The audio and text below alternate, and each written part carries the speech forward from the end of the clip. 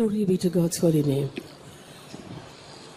எசேக்கியல் தீர்க்கதரிசன புத்தகம் ஏழாம் அதிகாரம் ஆறாம் வசனத்தை வாசிப்போம் Let's read the prophetical book of Ezekiel, chapter 7, verse 6.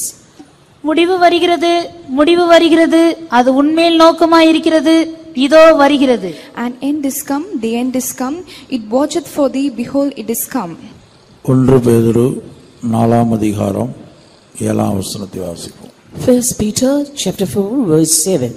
எல்லாவற்றிற்கும் முடிவு சமயமாயிற்று ஆகையால் தெளிந்த புத்தியுள்ளவர்களாயிருந்து ஜெபம் பண்ணுவதற்கு ஜாக்கிரதை உள்ளவர்களாயிருங்கள் But the end of all things is at hand. Be ye therefore sober and watch unto prayer. கர்த்தருடைய பரிசுத்த நாமத்திற்கு மகிமை உண்டாகட்டும் Glory be to God's holy name. நாம் இந்த நாட்களில் முடிவு வருகிறது என்கிறதான தலைப்பில் பரிசுத்தாவியானுடைய உதவியோடு தேவனுடைய வார்த்தைகளை தியானித்துக் கொண்டிருக்கிறோம் These days, with the help of the Holy Ghost, we are meditating the word of God under the title, The End is Come. இஸ்ரவேல் ஜனங்கள் எழுத்தின்படியான கானானை சுதந்திரிப்பதற்கு தடையாக அவர்களுடைய ஜீவியத்தில் முப்பத்தோரு விதமான ராஜாக்கள் அவர்களுக்கு விரோதமாக போராடினார் 31 types of kings were striving against Israelites in their life so that they do not inherit Canaan. அந்த ராஜாக்கள் மரித்து போனாலும் அந்த ராஜாக்களின் ஆவிகள் இன்றைக்கும் தேவனுடைய ஜனங்களுக்கு விரோதமாக ஆவிக்குரிய இஸ்ரவேலராகிய நமக்கு விரோதமாக போராடிக் கொண்டிருக்கிறது Even though those kings are dead by now, those spirits of those kings are striving against us, children of God, who are the spiritual Israelites. ஆவிக்குரிய இஸ்ரவேலராகிய நாம் பரமகாலனாகிய எருசலேமையும் சீயோனையும் சுதந்திரிப்பதற்கு தடையாக இந்த முப்பத்தோரு ராஜாக்களின் ஆவிகள் கிரியை செய்து வருகிறது The uh, spirits of the 31 kings are working so that they might hinder are spiritual Israelites so that we do not inherit Zion and New Jerusalem, the spiritual Canaan. கர்த்தருடைய பரிசுத்த நாமத்துக்கு மகிமை உண்டாகட்டும் Glory be to God's holy name. நாம் கடந்த நாட்களில் பத்து விதமான ராஜாக்களை குறித்து தியானித்தோம் In the past, we have already meditated about 10 kings. யோசுவா பன்னெண்டாம் அதிகாரம் பதினான்காம் வசனத்தை இன்றைய தினத்திலே நம்முடைய தியானத்திற்காக எடுத்துக்கொள்வோம் Today, for our meditation, we will be considering Joshua chapter 12, verse 14. ஒர்மாவின் ராஜா ஒன்று ஆராதின் ராஜா ஒன்று The king of Hormah one, the king of Arad one. ஓர்மாவின் ராஜா ஒன்று ஆராதின் ராஜா ஒன்று The king of Hormah one, the king of Arad one. கர்த்தருடைய பரிசுத்த நாமத்திற்கு மகிமை உண்டாகட்டும் Glory be to God's holy name. பதினோராவது ராஜா ஓர்மாவின் ராஜாவா இருக்கிறது The eleventh king is the king of Hormah, பனிரெண்டாவது ராஜா ஆராதின் ராஜாவா இருக்கிறது and the twelfth king is the king of Arad. கர்த்தருடைய பரிசுத்த நாமத்திற்கு மகிமை உண்டாகட்டும் Glory be to God's holy name. ஓர்மா என்கிறதான வார்த்தைக்கு எபிரிய வேத ஆராய்ச்சியாளர்கள் இரண்டு விதமான அர்த்தங்களை கொடுத்திருக்கிறார்கள் The Hebrew biblical scholars have given two meanings for the term Hormah. முதல் அர்த்தம் டிவோட்டட் என்று கொடுத்திருக்கிறார்கள் The first meaning ascribed by them is devoted. அதாவது அர்ப்பணிக்கப்பட்டதான அவர்கள் அதுக்கு குறிப்பிடும்போது ஒரு நபர் குறிக்கப்பட்ட ஒரு காரியத்துக்காக தன்னை அர்ப்பணிப்பது That is, a person showing devotion to a particular thing. இரண்டாவது அர்த்தமாக cursed ஃபார் டிஸ்ட்ரக்ஷன் என்கிறதான அர்த்தத்தை கொடுத்திருக்கிறார்கள் And the second meaning given by them is cursed for destruction.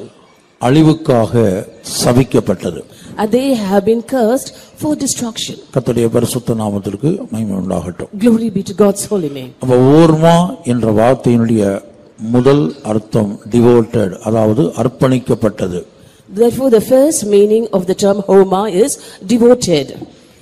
இரண்டாவதாக அழிவுக்காக சபிக்கப்பட்டது cursed for destruction And the second meaning is cursed for destruction.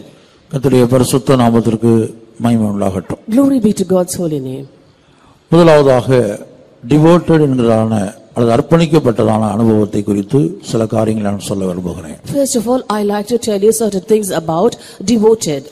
இன்றைக்கு உலக பிரகாரமாக இன்றைக்கு எத்தனையோ மனிதர்கள் தங்களுடைய வாழ்க்கையை அரசியலுக்காக பொது வாழ்க்கைக்காக அழிந்து போகிறதான காரியங்களுக்காக அர்ப்பணித்திருப்பதை நாம் பார்க்கிறோம் Today we can see that people have devoted themselves for the cause of politics and for the public cause and also for many things that are perishable.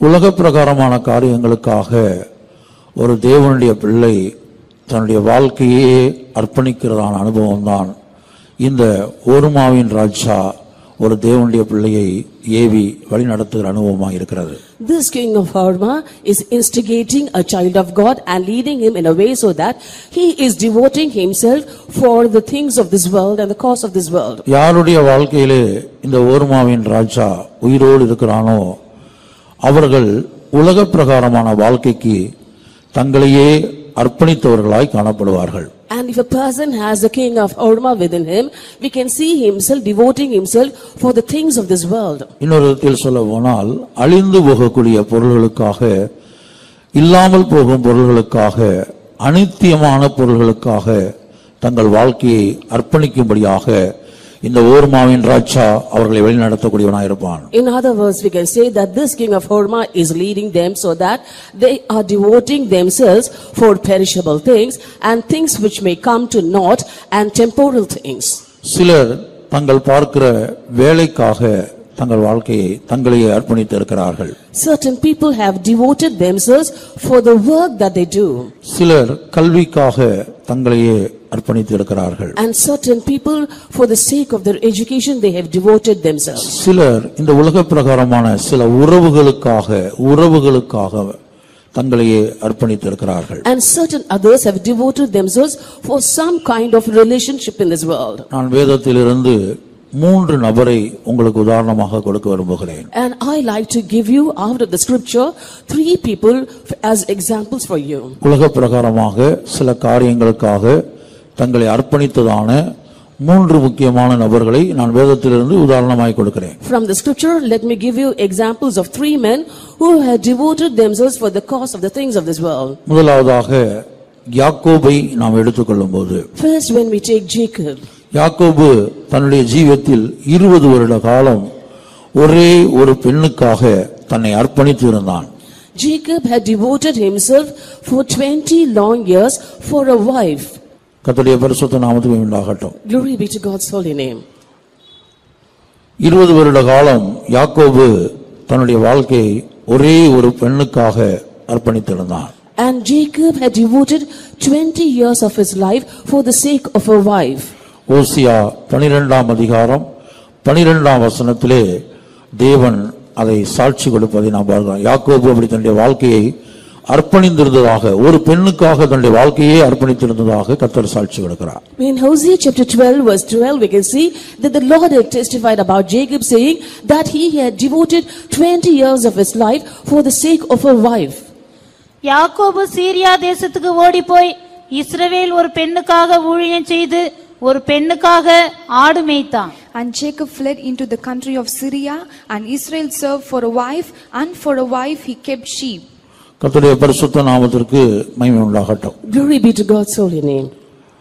இங்கே யாக்கோபை குறித்து கர்த்தர் சொல்வதை நாம் பார்க்கிறோம் ஒரு பெண்ணுக்காக ஒரு பெண்ணுக்காக ஊழியம் செய்து ஒரு பெண்ணுக்காக ஆடு மேய்த்தான் கிட்டத்தட்ட இருபது வருட காலம் அவன் தன்னுடைய வாழ்க்கையை ஒரு பெண்ணுக்காக அர்ப்பணித்திருந்ததை நாம் பார்க்கிறோம் Here the Lord says about Jacob that he served for a wife, led the sheep for a wife for 20 years. ஓர்மாவின் ராஜா நமக்குள்ளே உயிரோடு இருந்தால் நம்மையும் யாக்கோவை போன்று ஒரு நபருக்காகவோ அல்லது ஒரு பொருளுக்காகவோ அழிந்து போகிற ஏதாயிலும் ஒரு காரியத்துக்காக நம்முடைய ஜீவியத்தை நம்முடைய நாட்களை நம்முடைய வருஷங்களை அர்ப்பணிக்கும்படியாக செய்வான். If the king of Horma is present in our lives, he will also make us to devote our life for the sake of a thing in this world or for the sake of a person in this world or for some other cause that is worldly. இரண்டாவதாக வேதத்திலிருந்து நான் ஒரு நபரை சொல்கிறேன் சீகேம் என்கிறதான ஒரு நபரை குறித்து நாம் பார்க்கிறோம் அவன் தன்னுடைய பட்டணத்து மனிதருக்குள் அவன் ஒரு மேன்மை உள்ளவனாய் இருந்தான் என்று வேதம் சொல்லுகிறது Second, I want to tell you of a person named Shechem. He was honorable among the men in his city.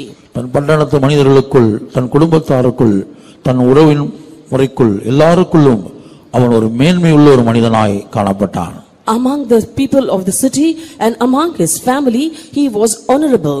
ஆனால் அப்படிப்பட்ட சீகேம் யாக்கோபின் மகளாகிய அந்த தீனாள் என்கிறதான ஒரு பெண்ணுக்காக ஒரு பெண்ணுக்காக அவன் மாத்திரமல்ல அவன் வாசமன் அந்த பட்டணத்தார் யாவரும் எல்லோரும் தங்களை அர்ப்பணித்ததாக பார்க்கிறோம் And we can see that not only she came, but the whole inhabitants of the city had uh, devoted themselves for the cause of one woman, that is Dinah, the daughter of Jacob.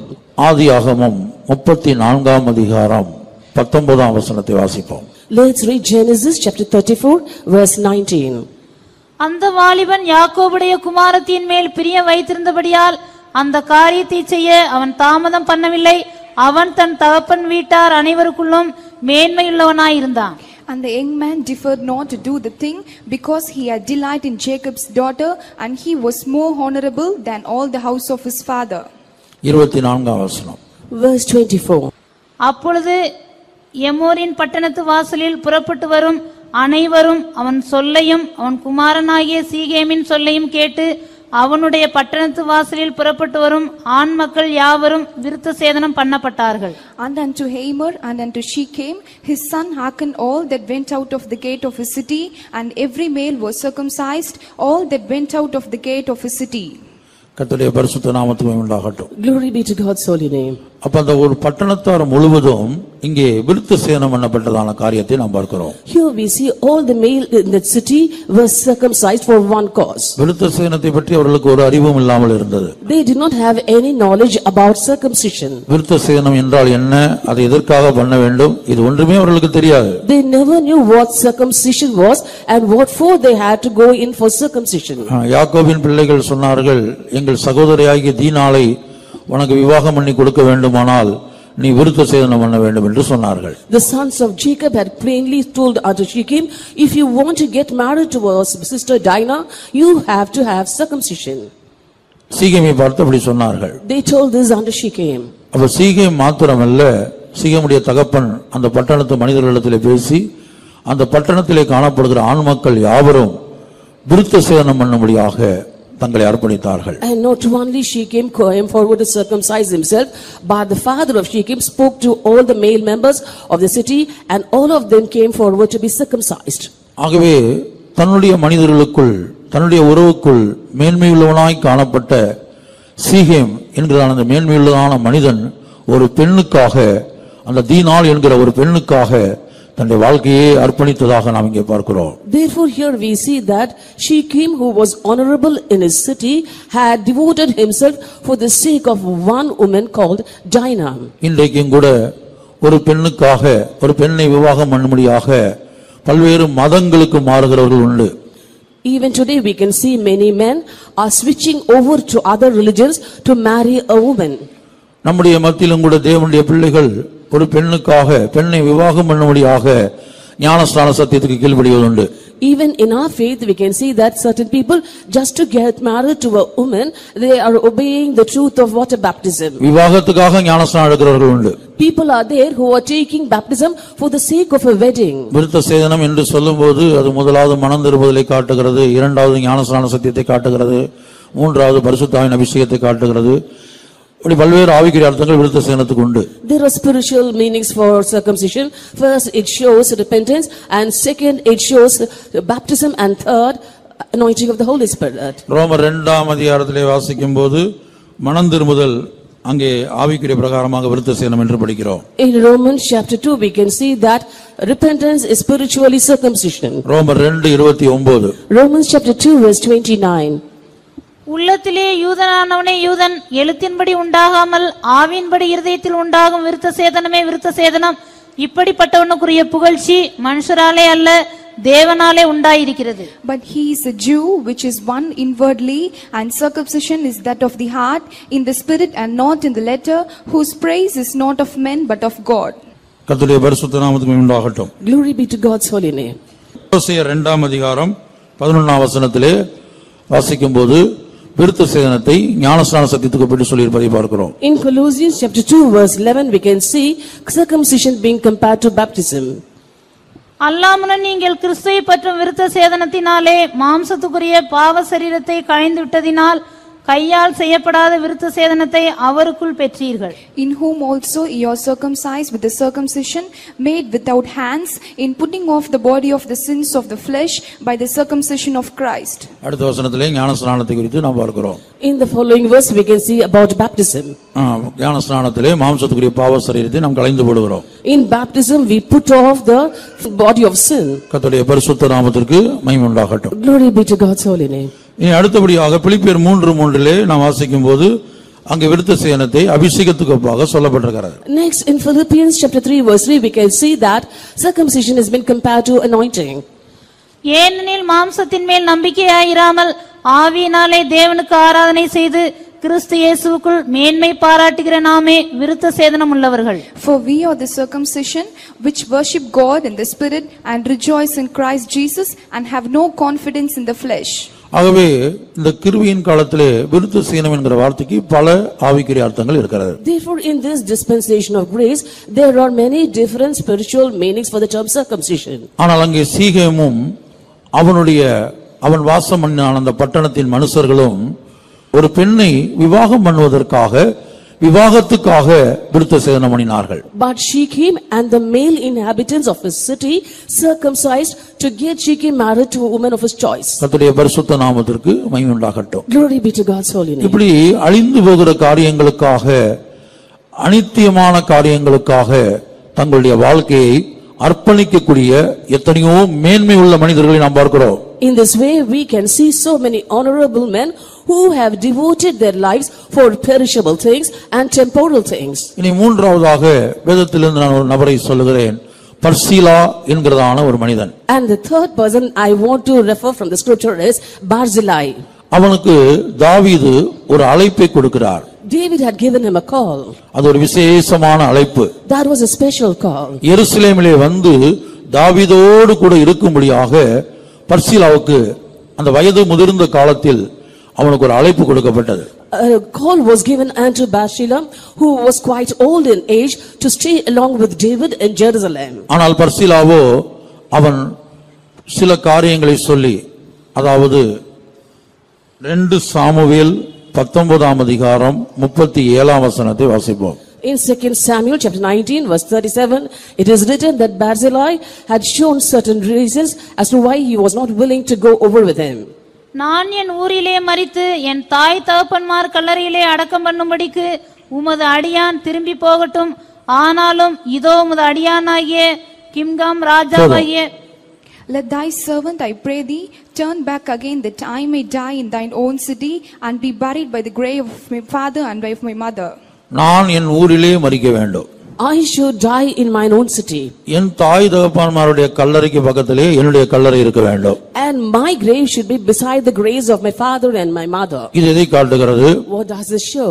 ஒரு மனிதன் தன்னுடைய பாரம்பரியங்களுக்கு தன்னுடைய சடங்காச்சாரங்களுக்கு தான் உலக பிரகாரமாக கொண்டிருக்கிற அழிந்து போகக்கூடிய கொள்கைகளுக்கு முக்கியத்துவம் கொடுக்கிறதை காட்டுகிறது Here we see that a man is giving importance to his heritage, to the traditions, and also the perishable things of this world.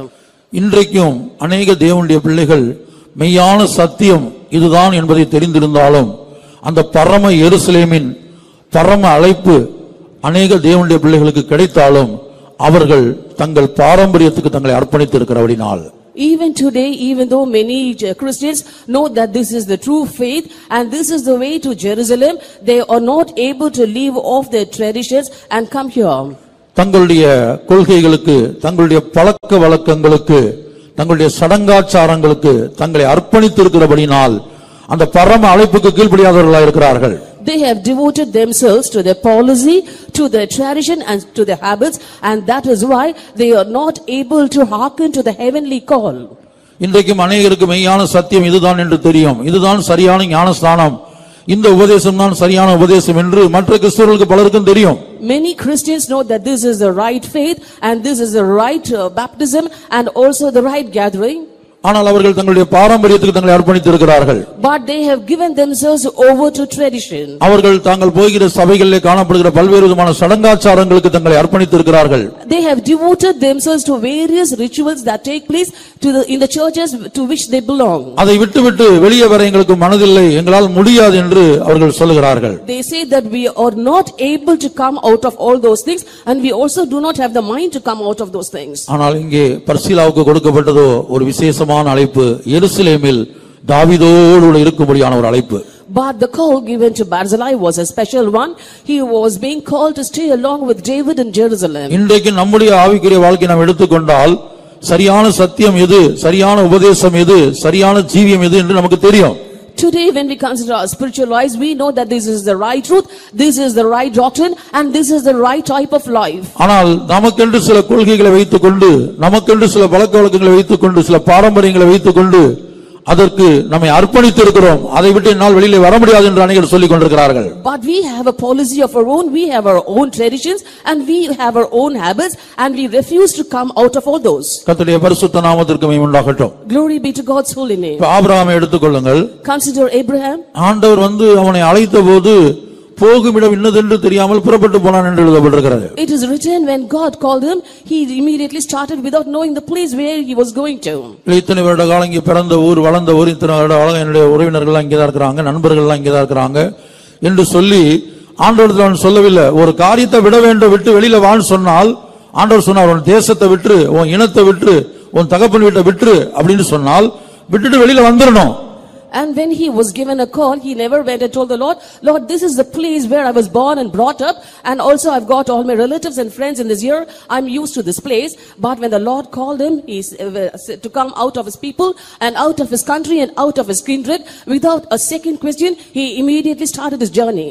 சிலரை பொறுத்தவரையில் இந்த ஓர்மாவின் ராஜா யாருக்குள் உயிரோடு இருக்கிறானோ அவர்கள் என்ன செய்வார்கள் தேசத்துக்கு தங்களை அர்ப்பணித்தவர்களா இருப்பார்கள் When a king of Orma is present in a person, they will be devoting themselves for the sake of the land. சிலர் தங்களுடைய இனத்துக்கு தங்களுடைய இனம் அந்த இனத்துக்கு தங்களை அர்ப்பணித்து இருப்பார்கள் And certain others would have devoted themselves to the kindred.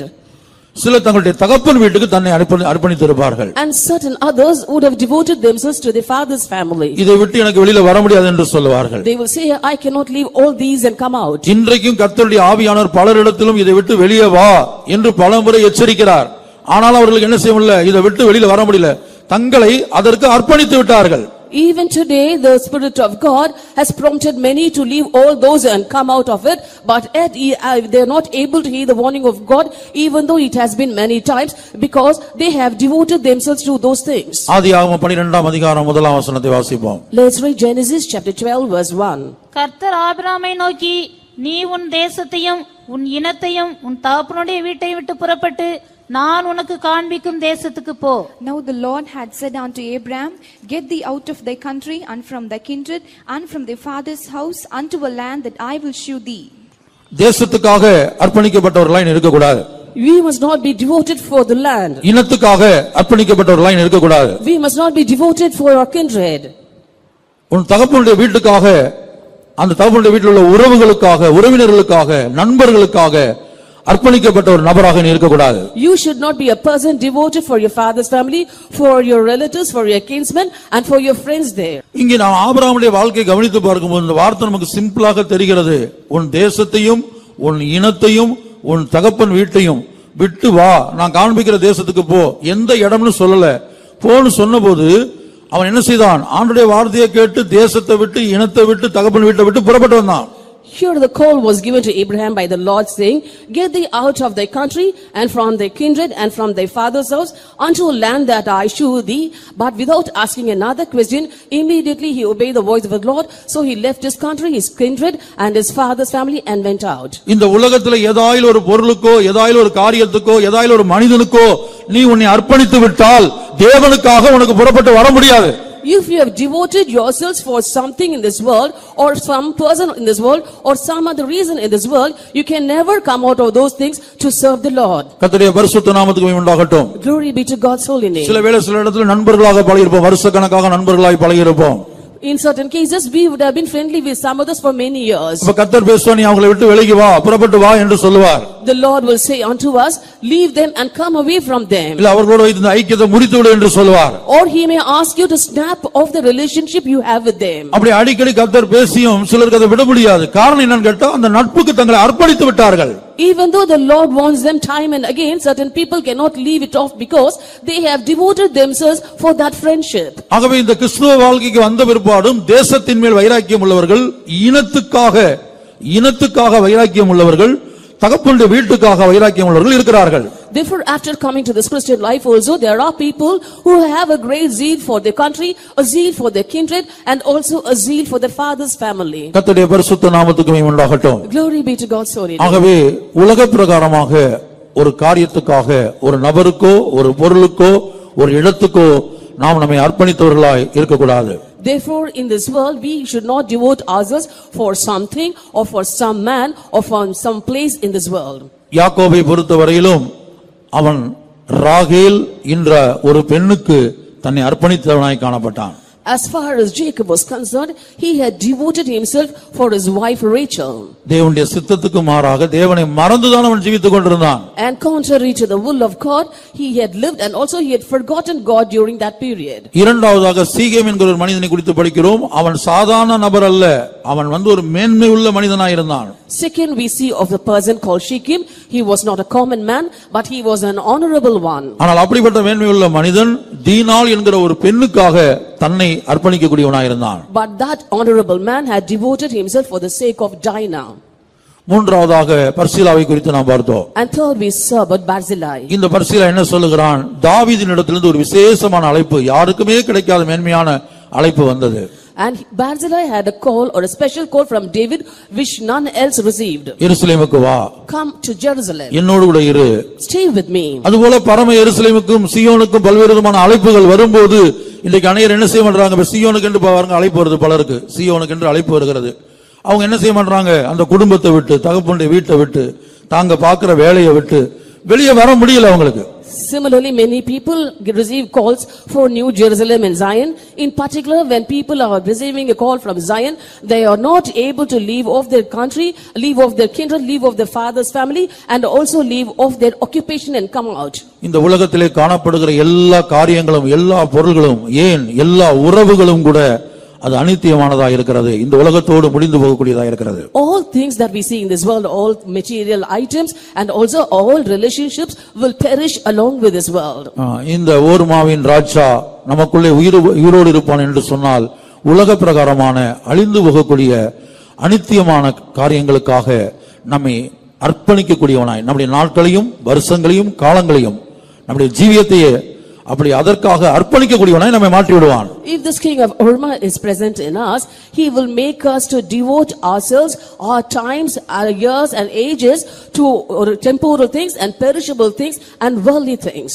கர்த்தருடைய பரிசுத்த நாமத்திற்கு மகிமை உண்டாகட்டும் Glory be to God's holy name. இப்படித்தான் சிலர் தங்கள் பார்க்கக்கூடிய வேலைக்கு தங்களை அர்ப்பணித்தவர்களாய் இருப்பார்கள் In this way, certain people are devoted to their job சிலர் தங்களுடைய கல்விக்கு தங்களை அர்ப்ப- அர்ப்பணி அர்ப்பணித்தவர்களாய் காணப்படுவார்கள் and certain of others have devoted themselves to their education. சிலர் உறவு முறைகளுக்கு இப்ப பாருங்க வேறுபாட்டின் ஜீவியம் என்று சத்தியம் சொல்லும் வேறுபாட்டின் ஜீவியம் ஜீவிக்க வேண்டும் என்று கத்த பேசுவார் ஆனாலும் சில உறவுகளை விட்டு சிலருக்கு வெளியில வர முடியாது அந்த உறவுகளுக்கு தங்களை அர்ப்பணித்து இருப்பாங்க அப்படியே The Lord will be speaking about the life of separation, but yet certain people are devoted to their relationships and they were not able to come out of that. தேவன் நம்மை எதற்காக அழைத்தார் Why has the Lord called us? தேவன் நம்மை எதற்காக அபிஷேகித்தார் Why has the Lord anointed us? அவர் ஒருவருக்கே நாம் நம்மை அர்ப்பணிக்க வேண்டும் We have to devote ourselves to Him alone. அவர் ஒருவருக்கு மாத்திரமே நாம் நம்மை அர்ப்பணித்தவர்களாய் காணப்பட வேண்டும் And we must be found being devoted to Him alone. ஓர்மாவின் ராஜா நமக்குள்ளே உயிரோடு இருக்கிற வரைக்கும் கர்த்தருக்கு நாம் நம்மை அர்ப்பணிக்கக்கூடியவர்களாய்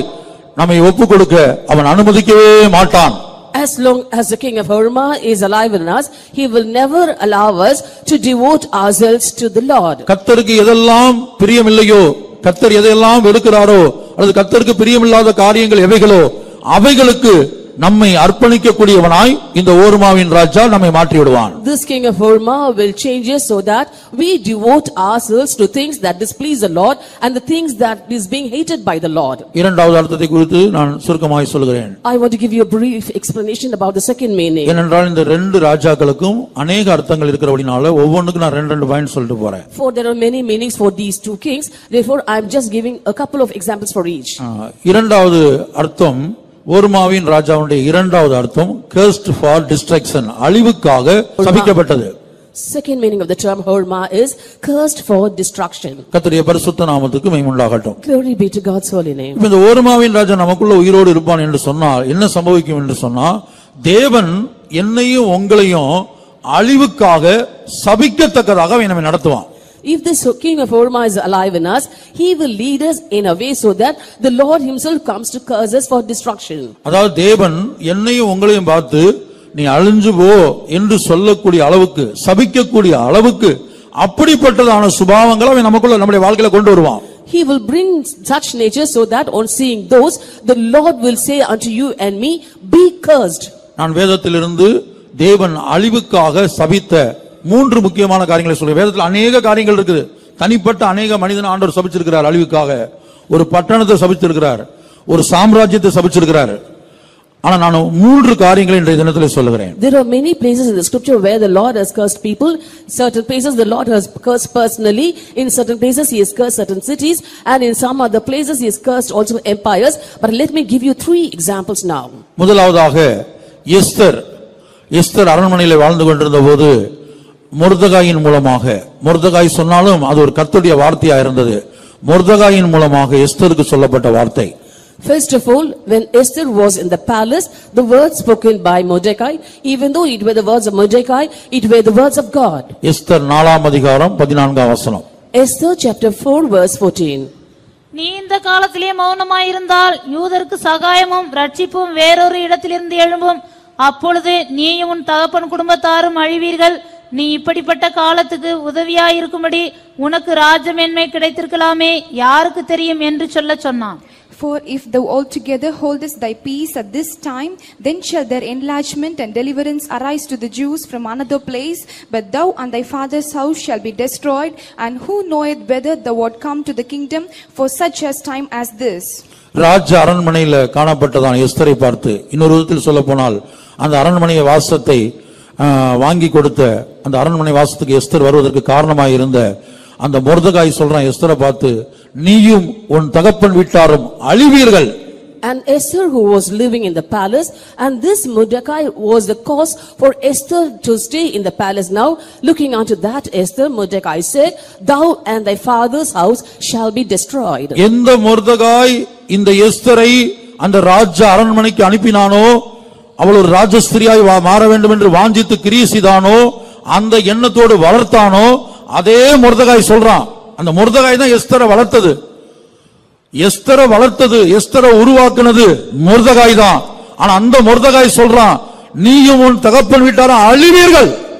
Mordecai brought up Esther. Mordecai was the man who sent Esther to the palace and Mordecai was the man who desired Esther to become queen. But that same Mordecai now says, Thou and thy father's house shall be destroyed.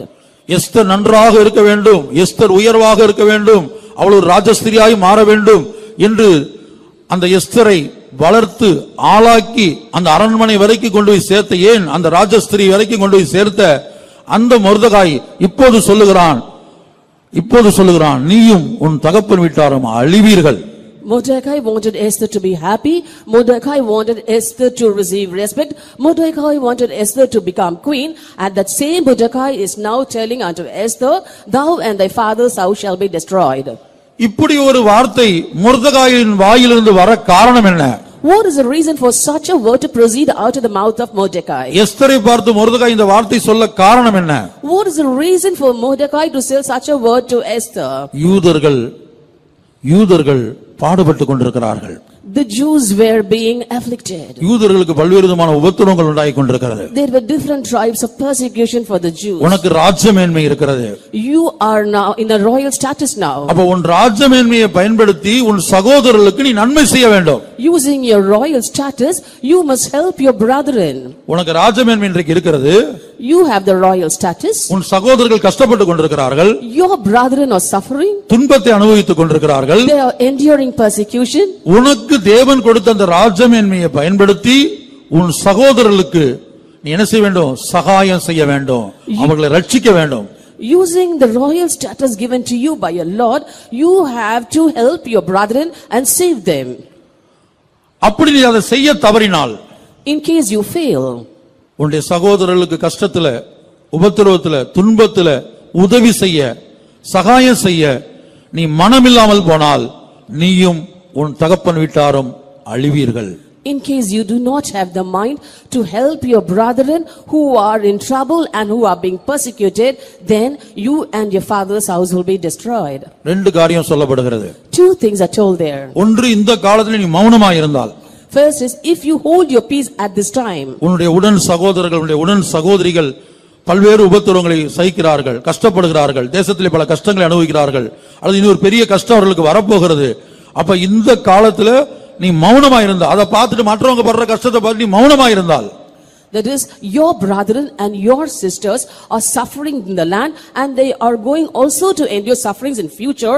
And in this time as this, if you hold your peace, அவர்களுக்கு உதவி செய்ய உனக்கு முடியும் you are able to help them. அவர்களை காப்பாற்ற உனக்கு முடியும் You have the capacity to save them. அவர்களை ரட்சிக்க உனக்கு முடியும் You can save them.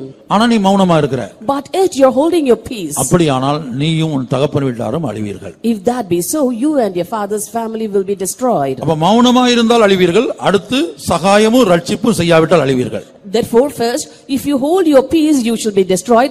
And next, if you do not help and if you do not save, you will be destroyed. அப்ப நீ மௌனமா இருந்த கத்தர் என்ன செய்வார் If you hold your peace, what will the Lord do then? கஷ்டப்படக்கூடிய துன்பப்படக்கூடிய தம்முடைய ஜனங்களுக்கு உதவி செய்யும்படியாக வேறொரு ஆளை எழுப்பி விடுவார் The Lord will raise up another person to help his people who are in difficulties and sufferings. உதவி செய்ய வேண்டிய நேரத்தில் காப்பாற்ற வேண்டிய நேரத்தில் அவங்களுடைய கஷ்டங்களை துளைக்க வேண்டிய அவருடைய கண்ணீரை துளைக்க வேண்டிய நேரத்தில் நீ மௌனமா இருந்தது நிமித்தமாக நீயும் உன் தகப்பன் வீட்டாரும் அழிவீர்கள் Because thou holdest your peace when you had to help them and when you had to save them and when you had to wipe away their tears, your father's family and you shall be destroyed.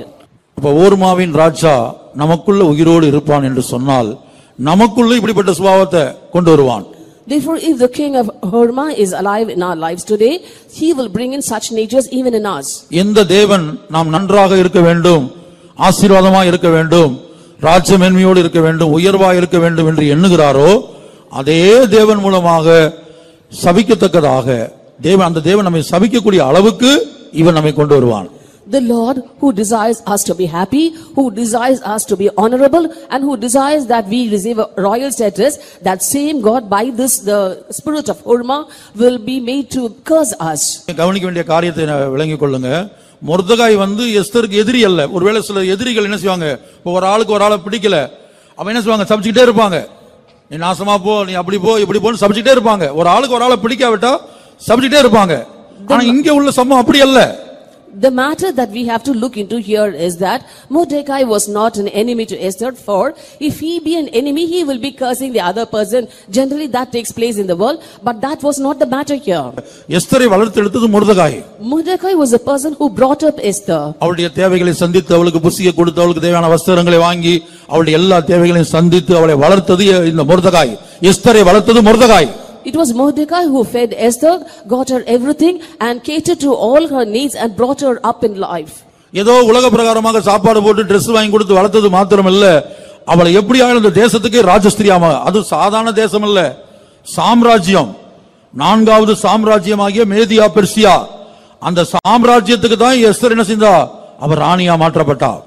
Not thus that he just fed her with food and got her dress for her regular needs, but he brought her up in a way so that she received a royal status and later she turned out to be the queen of the fourth empire, that is the Medo-Persian empire. அப்ப Esther நன்றாக இருக்க வேண்டும் அவ உயர் உயர்ந்த இடத்துக்கு வர வேண்டும் அவ நல்ல நல்ல இடத்துக்கு இருக்க வேண்டும் என்று விரும்பினவன் அதற்காக பிரயாசப்பட்டவன் அதற்காக கண் விழித்தவன் அதற்காக ஜெபித்தவன் தான் அந்த முருதகாய் Mordecai was the person who had str- str- suffered and labored and also was staying awake in the nights and praying so that Esther was happy in life, she was brought up in life and also she attained a high status in life. இன்றைக்கு அதே முருதகாய் இந்த எஸ்தரை பார்த்து நீயும் உன் தகப்பன் விட்டாலும் அழிவீர்கள் என்று சொல்லக்கூடிய அளவுக்கு எஸ்தர் மாறிவிட்டாள் Today Esther has gone to a place where the same Mordecai was now telling, thou and thy father's house shall be destroyed. கர்த்தருடைய பரிசுத்த நாமத்துக்கு மகிமை உண்டாகட்டும் Glory be to God's holy name. அப்ப இந்த வேத பகுதியிலிருந்து கர்த்தருடைய மனதை நாம் பார்க்கிறோம் From this scripture passage, we are able to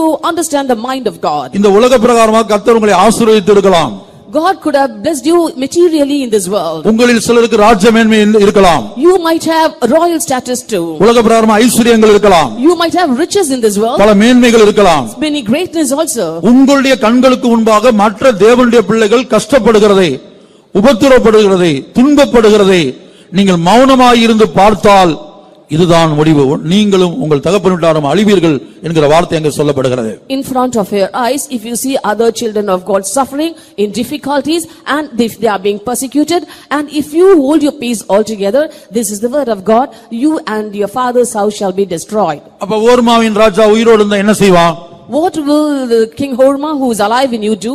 கர்த்தரால் ஆசீர்வதிக்கப்பட்டவர்களே கர்த்தரால் உயர்த்தப்பட்டவர்களே கர்த்தரால் ராஜ்ய மேன்மையை பெற்றுக்கொண்டவர்களே கர்த்தருடைய ஜனங்கள் கஷ்டப்படும் போது அவங்களுக்கு உதவி செய்யாம மௌனமா பார்க்கும்படி செய்வான் He will make the people of God who had been blessed by the Lord, who had been brought up in life by the Lord, and who have been blessed by the Lord abundantly, He will make them to silently watch the people of God suffering.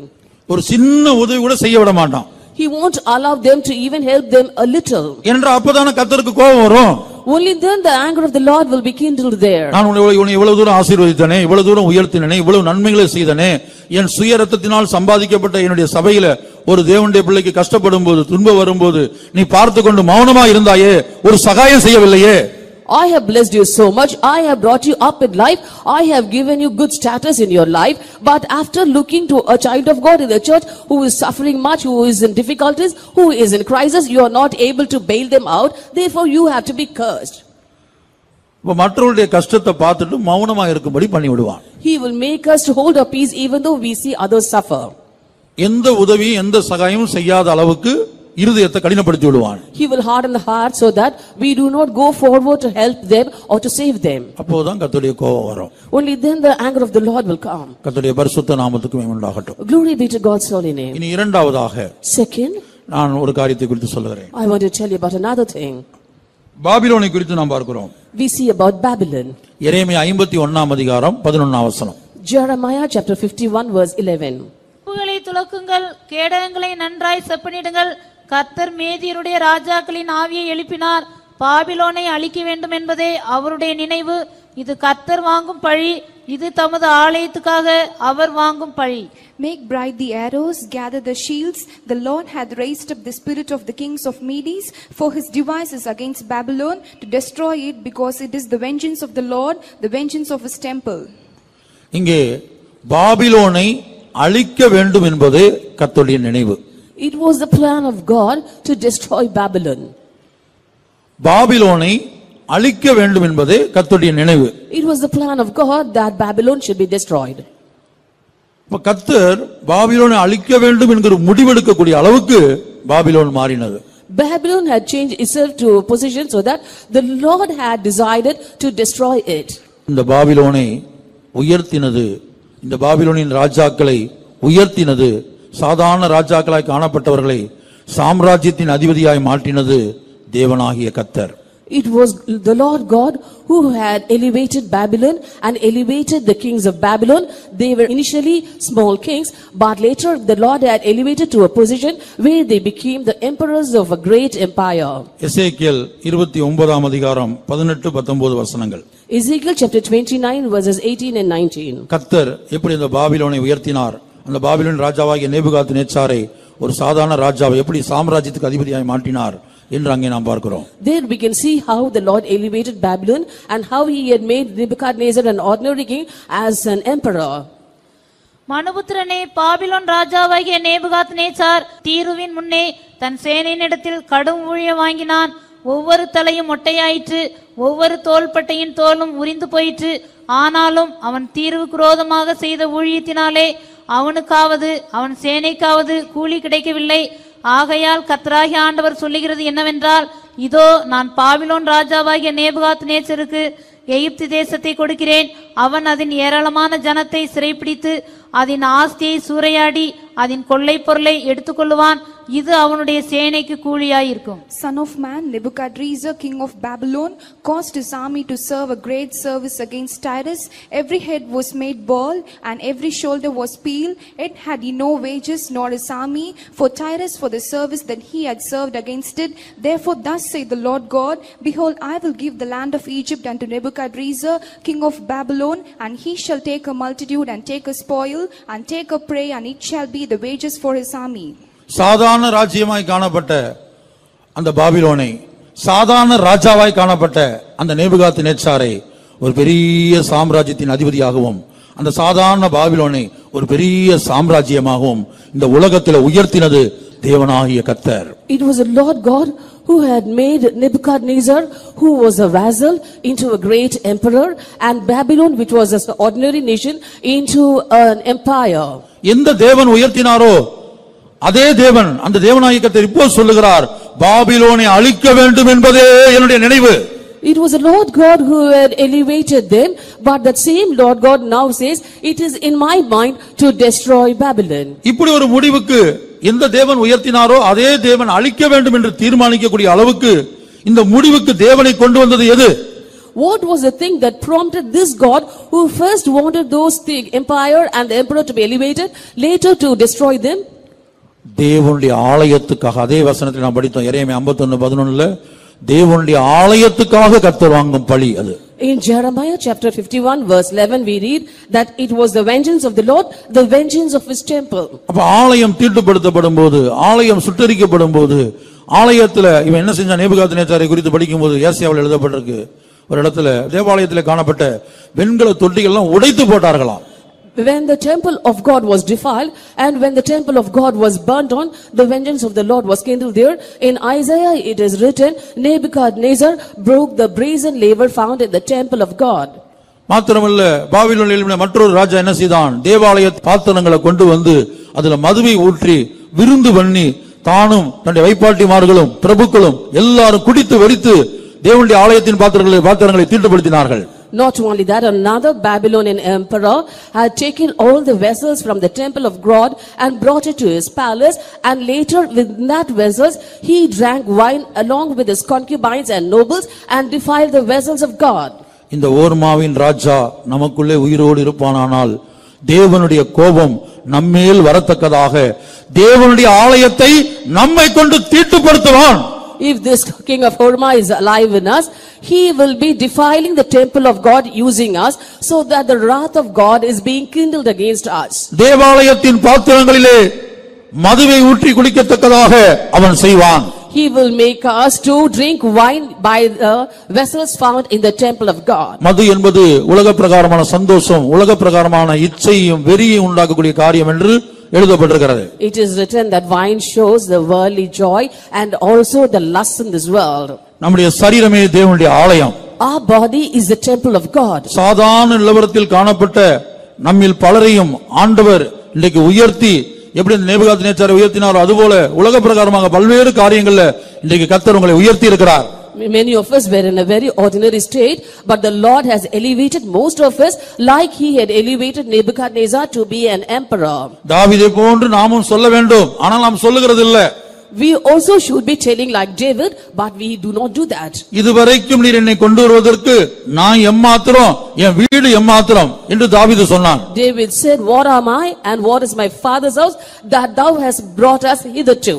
அதுபோல நாமும் கூட வருடத்தின் கடைசி மாதத்துல கடைசி நாட்கள்ல நான் சொல்ல வேண்டும். இதுவரைக்கும் ஆண்டவர் என்னை கொண்டு வருவதற்கு நான் எம்மாத்திரம் என் வீடு எம்மாத்திரம் Therefore, in the end of this year and the final days of this year, we also have to say, what am I and what is my family that thou hast brought us hitherto? ஆனா தாவீதுக்கு இருந்தது போல ஒரு நன்றியுள்ள இருதயம் நமக்கு உண்டாக போகிறது இல்ல But we are not going to have a grateful heart like that of David's. கர்த்தருடைய பரிசுத்த நாமத்துக்கு உண்டாகட்டும் Glory be to God's holy அது name. நீங்க கூட்டங்களுக்கு வரக்கூடிய முறைமையை பார்க்கும்போதே தெரிகிறது But the- by the way you come to the meetings, we can know that. அஹ் கர்த்தருடைய பரிசுத்த நாமத்துக்கு உண்டாகட்டும் Glory be to God's holy name. அப்ப சாதாரண உலகத்திலே காணப்பட்ட நம்ம இன்றைக்கு நமக்கு இருக்கிற உயர்வு கத்தரால் கிடைத்தது We were in an ordinary state, but now we have been in an elevated position that has been given to us by our God. சிலர் யோசிக்கிற எனக்கு ஒரு உயர்வும் இல்ல இந்த உலகத்துல ஒரு வேலை ஒரு நல்ல வேலை கூட இல்ல தங்கியிருக்க ஒரு நல்ல வீடு கூட இல்ல அப்படி என்னத்த ஆண்டவர் எனக்கு உயர்வு கொடுத்துருக்கான்னு சிலர் யோசிக்கிறீங்க யோசிக்கலாம் Certain, certain people may be thinking, I do not even have a proper job and I do not have a decent house to stay in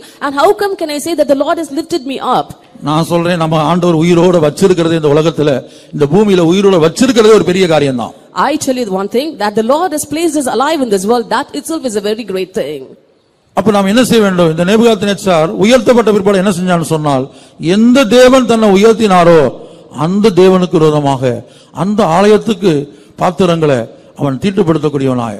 அவனுடைய பிள்ளைகள் தீட்டுப்படுத்தினார்கள் அவன் என்ன செய்தான்? வெண்கல தொட்டியை உடைத்து போடக்கூடியவனாய் காணப்பட்டான். Therefore it was the Lord God who had elevated Nebuchadnezzar, but he on the other hand, after he was being elevated, he broke the brazen uh, laver that was found in the temple of God and his descendants had defiled the vessels of the temple of God. நான் நினைக்கிறேன் ராஜாக்களின் புத்தகத்திலேயும் Asia திருக்கஷ்ணத்திலே அல்ல இறமையால ஒரு இடத்துல சொல்லப்பட்டிருக்கும் வெண்கல திட்டிகளை அவன் உடைத்து போட்டு என்று நாம் பார்க்கிறோம் In the book of Kings and in another prophetical book also, it is written that he broke the brazen laver.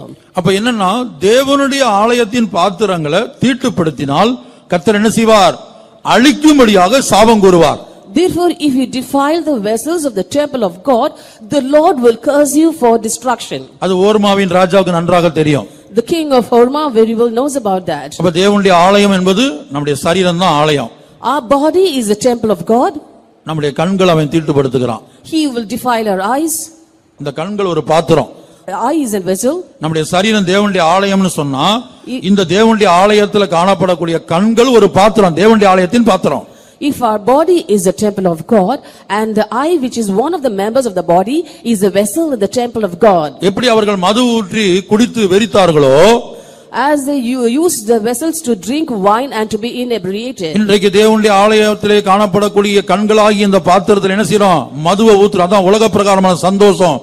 பாவ சம்பந்தப்பட்ட காரியங்கள் இச்சைகள் நெட்லையும் பல்வேறு காரியங்கள்லையும் பல்வேறு காரியங்கள் இந்த கண்களால நம்ம செய்யறோம் பார்க்கிறோம் And this body is the temple of God or the, and the eye which is the vessel in the temple of God. By that he is pouring wine. That is the pleasures of this world, all the lusts in this world, all the things that defile our eyes through the net and computer and etc. காதுகள் ஒரு பாத்திரமா இருக்கிறது The ear is also a vessel. அப்ப காதுகள்ல உலக பிரகாரமான காரியங்கள் உலக பிரகாரமான சந்தோஷங்கள் அசுத்தமான காரியங்கள் பக்தி விருத்திக்கு ஏதுவில்லாத காரியங்களை குறித்து கேட்கக்கூடியவர்களா இருக்கிறோம். And we are by our ears listening to things of this world, on the th- stories in this world and things that edify not. வாய் ஒரு பாத்திரம் Mouth is a vessel, கரங்கள் ஒரு பாத்திரம் hand is a vessel, கால்கள் ஒரு பாத்திரம். Leg is a vessel. இப்படி ஒவ்வொரு பாத்திரத்தையும் அவன் தீட்டுப்படுத்திக் கொண்டிருக்கிறான். தேவ சித்தத்துக்கு மாறாக தேவனுடைய கோபம் நம்மேல் எழும்பும்படியாக. In this way, he is defiling every vessel in the body so that it is against the will of God and also that the anger of the Lord may be kindled against us. பழைய ஏற்பாட்டு காலத்தில் மாத்திரமல்ல Not only in the Old Testament period, கிருபையின் காலத்திலும் கத்தர் சொல்லி இருக்கிறார் in this dispensation of grace also the Lord has told, நீங்கள் தான் தேவனுடைய ஆலயம் you are the temple of God. ஒருவன் தேவனுடைய ஆலயத்தை கெடுத்தால் ஒருவன் ஒருவன் தேவனுடைய ஆலயத்தை கெடுத்தால் அவனை தேவன் கெடுப்பார் If any man defile the temple of God, him shall God destroy. ஒன்று கொரிந்தியர் மூன்று பதினாறு பதினேழு வசனங்கள் First Corinthians chapter 3 verses 16 and 17. நீங்கள் தேவனுடைய ஆலயமாய் இருக்கிறீர்கள் என்றும் தேவனுடைய ஆவி உங்களில் வாசமாய் இருக்கிறார் என்றும் அறியாதிருக்கிறீர்களா ஒருவன் தேவனுடைய ஆலயத்தை கெடுத்தால் அவனை தேவன் கெடுப்பார் தேவனுடைய ஆலயம் பரிசுத்தமாய் இருக்கிறது நீங்களே அந்த ஆலயம் Know ye not that ye are the temple of God, and that the Spirit of God dwelleth in you? If any man defile the temple of God, him shall God destroy, for the temple of God is holy, which temple ye are. ஒருவன் தேவனுடைய ஆலயத்தை கெடுத்தால் தேவன் அவனை கெடுப்பார் If any man defile the temple of God, him shall God destroy. இதுதான் cursed for destruction This is cursed for destruction. இதுதான் ஓர்மா ராஜா This is the king of Horma. ஓர்மா ராஜா ஒரு தேவனுடைய பிள்ளைக்குள்ள உயிரோடு இருந்தால் If the king of Horma is alive and a child of God, அவன் என்ன செய்வான் தேவனுடைய ஆலயத்தின் பாத்திரங்களை உலக பிரகாரமாக பயன்படுத்த முடியாது உலக சந்தோஷங்களுக்கு உலக இன்பங்களுக்கு உலக இச்சைகளுக்கு அவன் இடம் கொடுப்பான் and he will make us to use the vessels of the temple of God for worldly things and the pleasures of this world and also for the lusts that are found in this world. பேதுரு அப்படிப்பட்டவர்களை குறித்து என்ன சொல்கிறார் What does Peter tell about such people? ரெண்டு பேதுரு இரண்டாம் அதிகாரம் பதிமூன்று பதினான்காம் வசனம் Second Peter chapter 2 verses 13 and 14. இவர்கள் ஒரு நாள் வாழ்வை இன்பம் என்றெண்ணி இவர்கள் ஒரு நாள் வாழ்வை இன்பம் என்று எண்ணி ஒரு நாள் வாழ்வு They count it pleasure to riot in the daytime. கரைகளும் லட்சைகளுமாயிருந்து கரைகளும் லட்சைகளுமாய் இருந்து Sports they are and blemishes.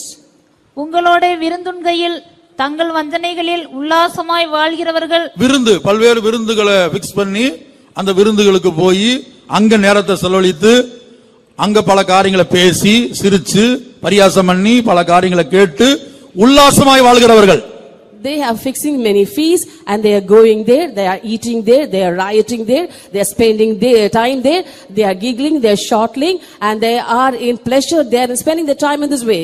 அடுத்து விபச்சார மயக்கத்தால் நிறைந்த விபச்சார மயக்கத்தால் நிறைந்தவைகளும் Eyes full of adultery, பாவத்தை விட்டு ஓயாதவைகளுமாய் இருக்கிற பாவத்தை விட்டு ஓயாத ரிட்டையர்டு கிடைக்கல ரிட்டையர்டு கிடைக்கல 58 வயசாச்சு உலக பிரகாரமான வேலைக்கு என்ன செய்றாங்க 58 58 எட்டுல ரிட்டையர்டு கொடுத்துறாங்க cannot cease ஓய்வு. cannot cease from sin. In the world also at the age of 58, you are sent back on retirement. ஆனா இந்த பாவத்துக்கு மட்டும் 80 வயசான ஓய்வு கிடைக்க மாட்டேங்குது But the sin is not getting retirement even though it is 80 years of age. பாவம் யாருக்கு ஓய்வு தர்றதில்ல உனக்கு எண்பது வயசாச்சுப்பா உனக்கு எண்பது வயசாச்சு நீ ஓய்வு எடுத்துக்க பாஸ்டர் மனோரன் ஒரு முறை மார்த்தாண்ட கவுன்சில் அப்படி சொன்னார் மார்த்தாண்ட கவுன்சில்ல பாஸ்டர் மனோரன் அவர்கள் ஒரு பிரசங்கம் பண்ணும்போது சொன்னார் இப்படி ஒரு டம்ளரை வெறும் டம்ளர் இருக்கு இல்லையா? தண்ணி உள்ள டம்ளரில் வெறும் டம்ளரை அப்படி தூக்கக்கூடிய பலன் அப்படி தூக்கக்கூடிய பலன் இந்த சரீரத்தில் இருக்கிற வரைக்கும் பாவத்தின் வல்லமை மாம்சத்தின் வல்லமை போராடிட்டே இருக்குமா Sin won't allow you to retire even if you're 80 years of age. That is what Pastor Manoharan told in the Marthandam convention. Until you have the strength to lift up one empty tumbler, sin will be striving in your body. அதுக்கு வந்து கல்யாணம் ஆனவங்க கல்யாணம் ஆகாதவங்க வயசானவங்க வாலிபர்கள் சிறு பிள்ளைங்க இப்படிலாம் அதுக்கு கிடையாது அது எண்பது வயசு தாத்தாவா இருந்தாலும் என்ன செய்யும் அது போராடிட்டு இருக்கும் அதான் சிலர் வந்து சொல்றாங்களே அறிக்கையில எண்பது வயசாச்சு வந்து சொல்றாங்களே இன்னும் எங்களுக்கு ஜெயம் கிடைக்கல இன்னும் எங்களுக்கு சிந்தையில ஜெயம் கிடைக்கல கண்கள்ல ஜெயம் கிடைக்கல அப்படிலாம் சிலர் அறிக்கை பண்ணி கேட்டிருக்கீங்க தானே Sin has got no criterion as married or unmarried or young or old or adults or siblings. That is what we heard about an old believer also coming and telling, even though I'm quite old in age, I have got no deliverance from my mind because sin and lust are striving against my mind and my eyes. பாவத்தை விட்டு ஒரு ஓய்வு கிடைக்க மாட்டேங்குது We are not able to get retirement from sin. இதுல வந்து என்னது VRS கிடைக்காது. என்ன செய்ய முடியாது? அந்த ரிட்டைர்மெண்ட்டும் கிடையாது. And we cannot also get VRS or we won't, uh, won't be retired even on maturity. 58 வயசு ஆச்சு ரிட்டையர்ட் ஆயிட்டோம் அப்படியும் இல்ல. இல்ல எங்களுக்கு இந்த வேலை பாதியிலே போதும். நாங்க விஆர்எஸ் வாங்கிக்கிறோம் அப்படியும் இல்ல. And you don't say uh, 58 is the age of retirement, so I have to retire, or I'm going to retire in between, so I have opted for a VRS. பாவத்தை பொறுத்த வரைக்கும் யாரும் விஆர்எஸ் வாங்க முடியாது இது வரைக்கும் நாங்க பாவம் செஞ்சோம் இனி நாங்க செய்ய மாட்டோம் விஆர்எஸ் வாங்கிக்கிறோம் அப்படின்னு நம்ம யாரும் சொல்ல முடியாது As far as sin is concerned, no one can say, till now we were committing sin, now we are going to go on a VRS. அதான் விபச்சார மயக்கத்தால் நிறைந்தவைகளும் பாவத்தை விட்டு ஓயாதவைகளுமாய் இருக்கிற கண்களை உடையவர்கள் கண்கள் அதான் சொன்னேன் கண்கள் Having eyes full of adultery, and that cannot cease from sin. அப்ப கண்கள் என்பது தேவனுடைய ஆலயத்துல ஒரு பாத்திரம் Eye is a vessel in the temple of God. அந்த பெல்ஷத்சார் ராஜா என்ன செய்தான் அந்த பாத்திரத்துல எதை ஊத்தி குடித்தான் மதுவை ஊத்தி குடித்தான் King Belshazzar used those vessels from the temple of God to drink wine. ஒரு விருந்து வீட்டுல In a banquet house, ஒரு பெரிய விருந்து நடந்தது there was a great feast. கர்த்தருடைய பரிசுத்த நாமத்துக்கு உண்டாகட்டும் Glory be to God's holy name. அதுபோல விருந்துக்கு போகிற இடங்கள் என்ன செய்யறாங்க கண்கள்ல பல காரியங்களை செய்யறாங்க Similarly, when they go to feast, their eyes are used in different ways. ஆ, காதுகள்ல பல காரியத்தை கேட்கிறாங்க Uh, By the ears, they are hearing many things. உலகத்தில் உள்ள அருவருப்பான காரியங்கள் அசுத்தமான காரியங்கள் பக்தி விருத்திக்கு ஏதுவில்லாத காரியங்கள் All abominable things in the world, all filthy things in the world, and all things that edify not. அடுத்து வாசிக்கிறோம் வாசிங்க Next. உறுதியில்லாத ஆத்துமாக்களை தந்திரமாய் பிடித்து பொருளாசைகளில் பழகின இருதயத்தையுடைய சாபத்தின் பிள்ளைகள். பொருளாசையுடைய பொருளாசை இருந்தா போதுமா? சாபத்தின் பிள்ளைகள். கர்ஸ்ட் ஃபார் டிஸ்ட்ரக்ஷன் ஓர்மா அதான் ஓர்மா ராஜா. Those who have exercised with covetous practices, that is cursed children, that is cursed for destruction. பொருளாசை இருந்தா அவங்க சாபத்தின் பிள்ளைகள். If they ha- are covetous, they are cursed children, உறுதி இல்லாத ஆத்துமாக்களை தந்திரமாய் பிடிக்கிறார்கள் beguiling unstable souls. பொருளாசையில் பழகினவர்கள் Those who have exercised with covetous practices. And shall receive the reward of unrighteousness as they that counted pleasure to row it in the day, daytime, sports they are and blemishes, sporting themselves with their deceivings, while they feast with you, having eyes full of adultery, and that cannot be ceased from the sins, beguiling unstable souls, and heart that they have exercised in covetous practices, cursed children. அப்ப ஓர்மா ராஜா நமக்குள்ளே உயிரோடு இருந்தால் Therefore, if this king of Horma is alive in us, நம்முடைய தேவன் நாம் நன்றாக இருக்க வேண்டும் ஆசீர்வதிக்கப்பட வேண்டும் சியோனாய் மாற வேண்டும் என் பிள்ளை எருசலேமாய் மாற வேண்டும் என்று எண்ணக்கூடியவர் இந்த உலகத்திலே ஆசீர்வாதமாக இருக்க வேண்டும் என்று எண்ணக்கூடியவர் our God is the one who says, my child should be happy in this world, should be blessed in this world, should become Zion and also Jerusalem. அப்படிப்பட்ட தேவன் நீ சாபத்தின் பிள்ளை நான் உன்னை கெடுப்பேன் என்று சொல்லக்கூடிய அளவுக்கு இந்த ஓர்மா ராஜா பல சுபாவங்களை நமக்குள்ளே கொண்டு வருகிறான் This king of Horma brings in different natures in us so that that God is will be telling unto us, thou art cursed children and I will be destroying you completely. எப்போது தேவன் நம்மை சபிக்கிறார் When does the Lord curse us? எப்போது கர்த்தர் நமக்கு எதிரியாய் மாறுகிறார் When does the Lord turn out to be an adversary? ஒருவன் தேவனுடைய ஆலயத்தை கெடுத்தால் தேவன் அவனை கெடுப்பார் If anyone defile the temple of God, him shall God destroy. கர்த்தருடைய பரிசுத்த நாமத்துக்கு உண்டாகட்டும் Glory be to God's holy name. முதலாவது என்ன செய்தோம் எஸ்தருடைய வாழ்க்கையில இந்த ஓர்மா ராஜா இருந்த என்ன செய்வான்னு சொன்னா மற்றவங்களுக்கு நன்மை செய்ய விட மாட்டான் மற்றவங்க கஷ்டத்துல உதவி செய்ய விட மாட்டான் மௌனமா இருக்க வைப்பான் First of all, we saw about the life of Esther. If this king of Horma is alive in us, he will never allow us to help others in their time of need. Allow, he won't allow us to save others and he won't allow us to do any good to anybody. இரண்டாவது என்ன செய்வான் என்று சொன்னால் தேவனுடைய ஆலயத்தையும் தேவனுடைய ஆலயத்தின் பாத்திரங்களையும் நம்மை கொண்டு தீட்டுப்பட வைப்பான் And second, using us, he will make us of the temple of God to be defiled. அப்போதான் கர்த்தருடைய கோபம் நம்ம மேல் வரும் Only then the anger of the Lord will be kindled against us. அப்போதான் அழிவு கற்ற சாபத்தை கர்த்தர் சொல்லுவார் And only then the Lord will curse us for destruction. கர்த்தருடைய பரிசுத்த நாமத்துக்கு மகிமை உண்டாகட்டும் Glory be to God's holy name. இனி மூன்றாவதாக ஒரு சம்பவத்தை உதாரணமாய் நான் சொல்கிறேன் And let me give you a third example.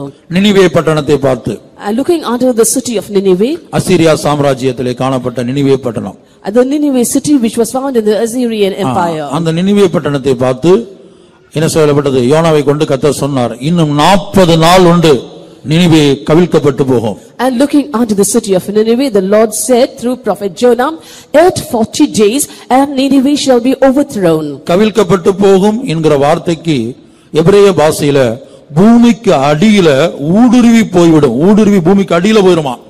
The term overthrown is given in English and in the original language it is given that it will go into the ground, it will go seeping into the ground or penetrate into the ground. அப்படியே சம்பவித்தது பின்னாட்கள்ல Later it had exactly happened like that. அதாவது YONO தீர்க்கதரிசனம் சொன்ன அந்த நாட்கள் நடக்கல ஏன்னா அந்த ஜனங்கள் தங்களை தாழ்த்தினதுனால The- It did not take place in the time when Jonah had prophesied because for people there had humbled themselves. ஆனா பின்னாட்கள்ல ஆண்டவர் சொன்னபடியே நடந்தது பொதுவா நினிவே பட்டணத்தை என்ன செஞ்சாங்கன்னா பூமியில தேடிக்கொண்டே இருந்தாங்க நினிவேன்னு ஒரு பட்டணம் பைபிள்ல இருக்குது அது உலகத்துல எங்க இருக்குன்னு ஆராய்ச்சியாளர்கள் பூமியில தேடிக்கிட்டே இருந்தாங்க ரொம்ப வருஷமா But the word of God did not get fulfilled uh, during the times of Jonah, but later it got fulfilled. Uh, For after many years, the archaeologists were searching for a city called Nineveh over the face of the earth, for there was a name written in the scriptures so as the city of Nineveh.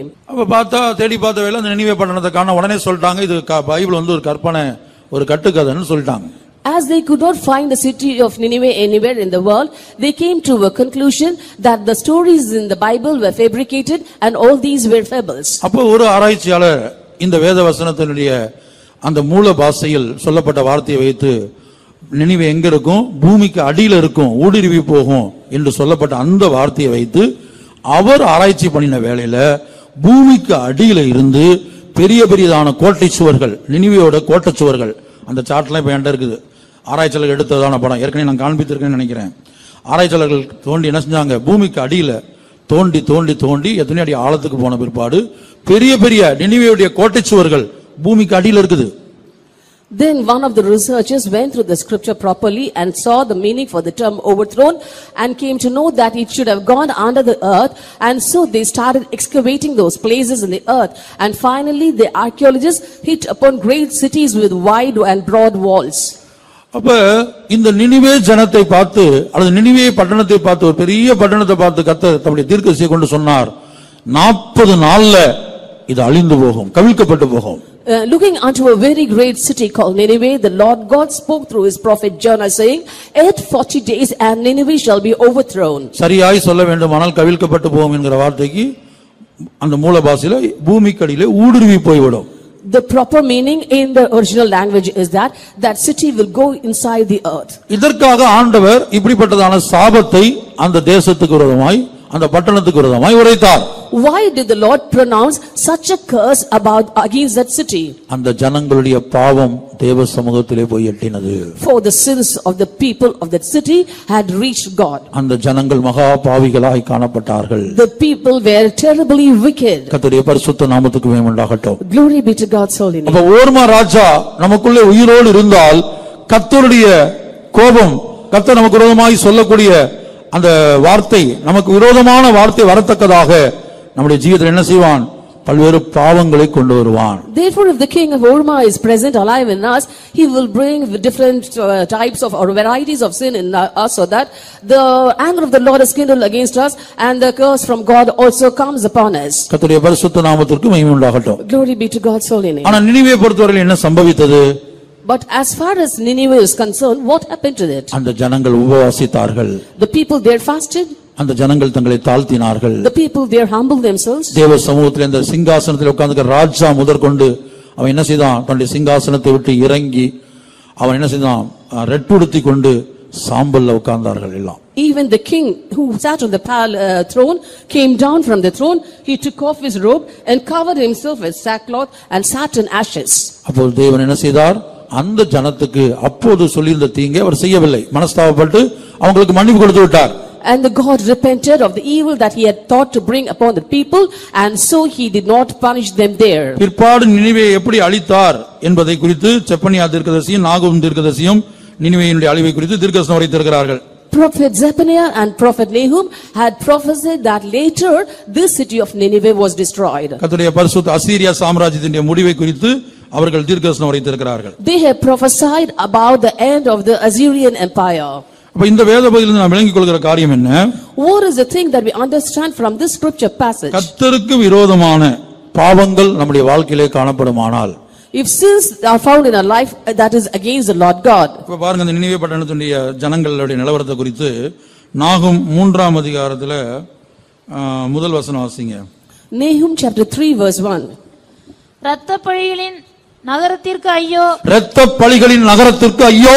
அது வஞ்சகத்தினாலும் கொடுமையினாலும் நிறைந்திருக்கிறது. கொள்ளை ஓயாமல் நடக்கிறது. Woe to the bloody city, it is full of lies and robbery, and prey departed not. அந்த நகரம் எப்படி காணப்பட்டது How was it city? ஆ, நினிவேயை குறித்து தான் எழுதப்பட்டிருக்கு அந்த மு- முத வசனம் வாசிங்க நாகம் ஒண்ணு ஒண்ணு Let's read Nahum chapter 1 verse 1.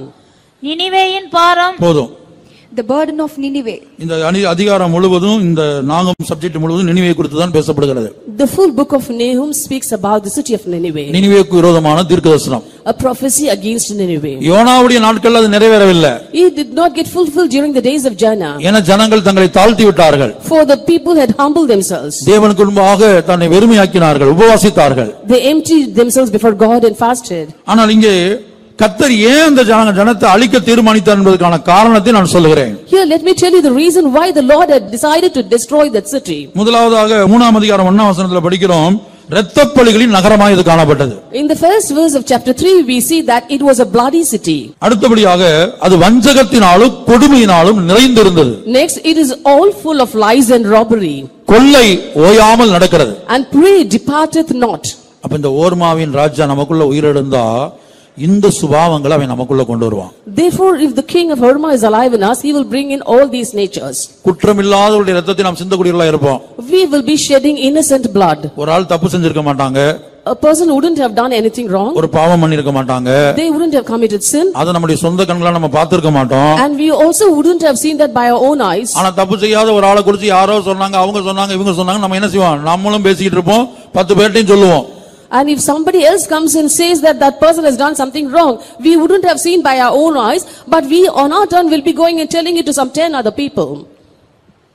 இதான் ரத்த பலி குற்றமில்லாத ரத்தத்தை நாம் சிந்துகிறோம் This is blood guilt for we are shedding innocent blood. இப்ப நினிவே எப்படி அழிக்கிறேன்னு கத்த சொல்ற நாகம் ஒன்னு எட்டு In Nahum chapter 1 verse 8, the Lord says how he was destroying Nineveh. ஆனாலும் நினிவேயின் ஸ்தானத்தை புரண்டு வருகிற வெள்ளத்தினால் சர்வ சங்காரம் பண்ணுவார் இருள் அவர்கள் சத்துருக்களை பின்தொடரும் But with an overrunning flood, he will make an utter end of the place thereof, and darkness shall pursue his enemies. புரண்டு வருகிற வெள்ளத்தினால் நினிவேயை சர்வ சங்காரம் பண்ணுவாராம் With an overrunning flood, he will make an utter end to Nineveh. அப்படியே நடந்தது It happened so. இப்ப பாருங்க இந்த நினிவை எப்படி ஆண்டவர் அழிக்க காரணம் என்ன என்பதைத்தான் பார்த்து கொண்டிருக்கிறோம் Now we are seeing the reasons why the Lord had destroyed that. முதலாவதாக அஹ், இரத்தப்பலியின் நகரமாக இது காணப்பட்டது First, it was a bloody city. வஞ்சகமும் கொடுமையும் நிறைந்திருந்தது It was full of lies and robbery, கொள்ளை ஓயாமல் நடந்து கொண்டிருந்தது and prey departeth not from it.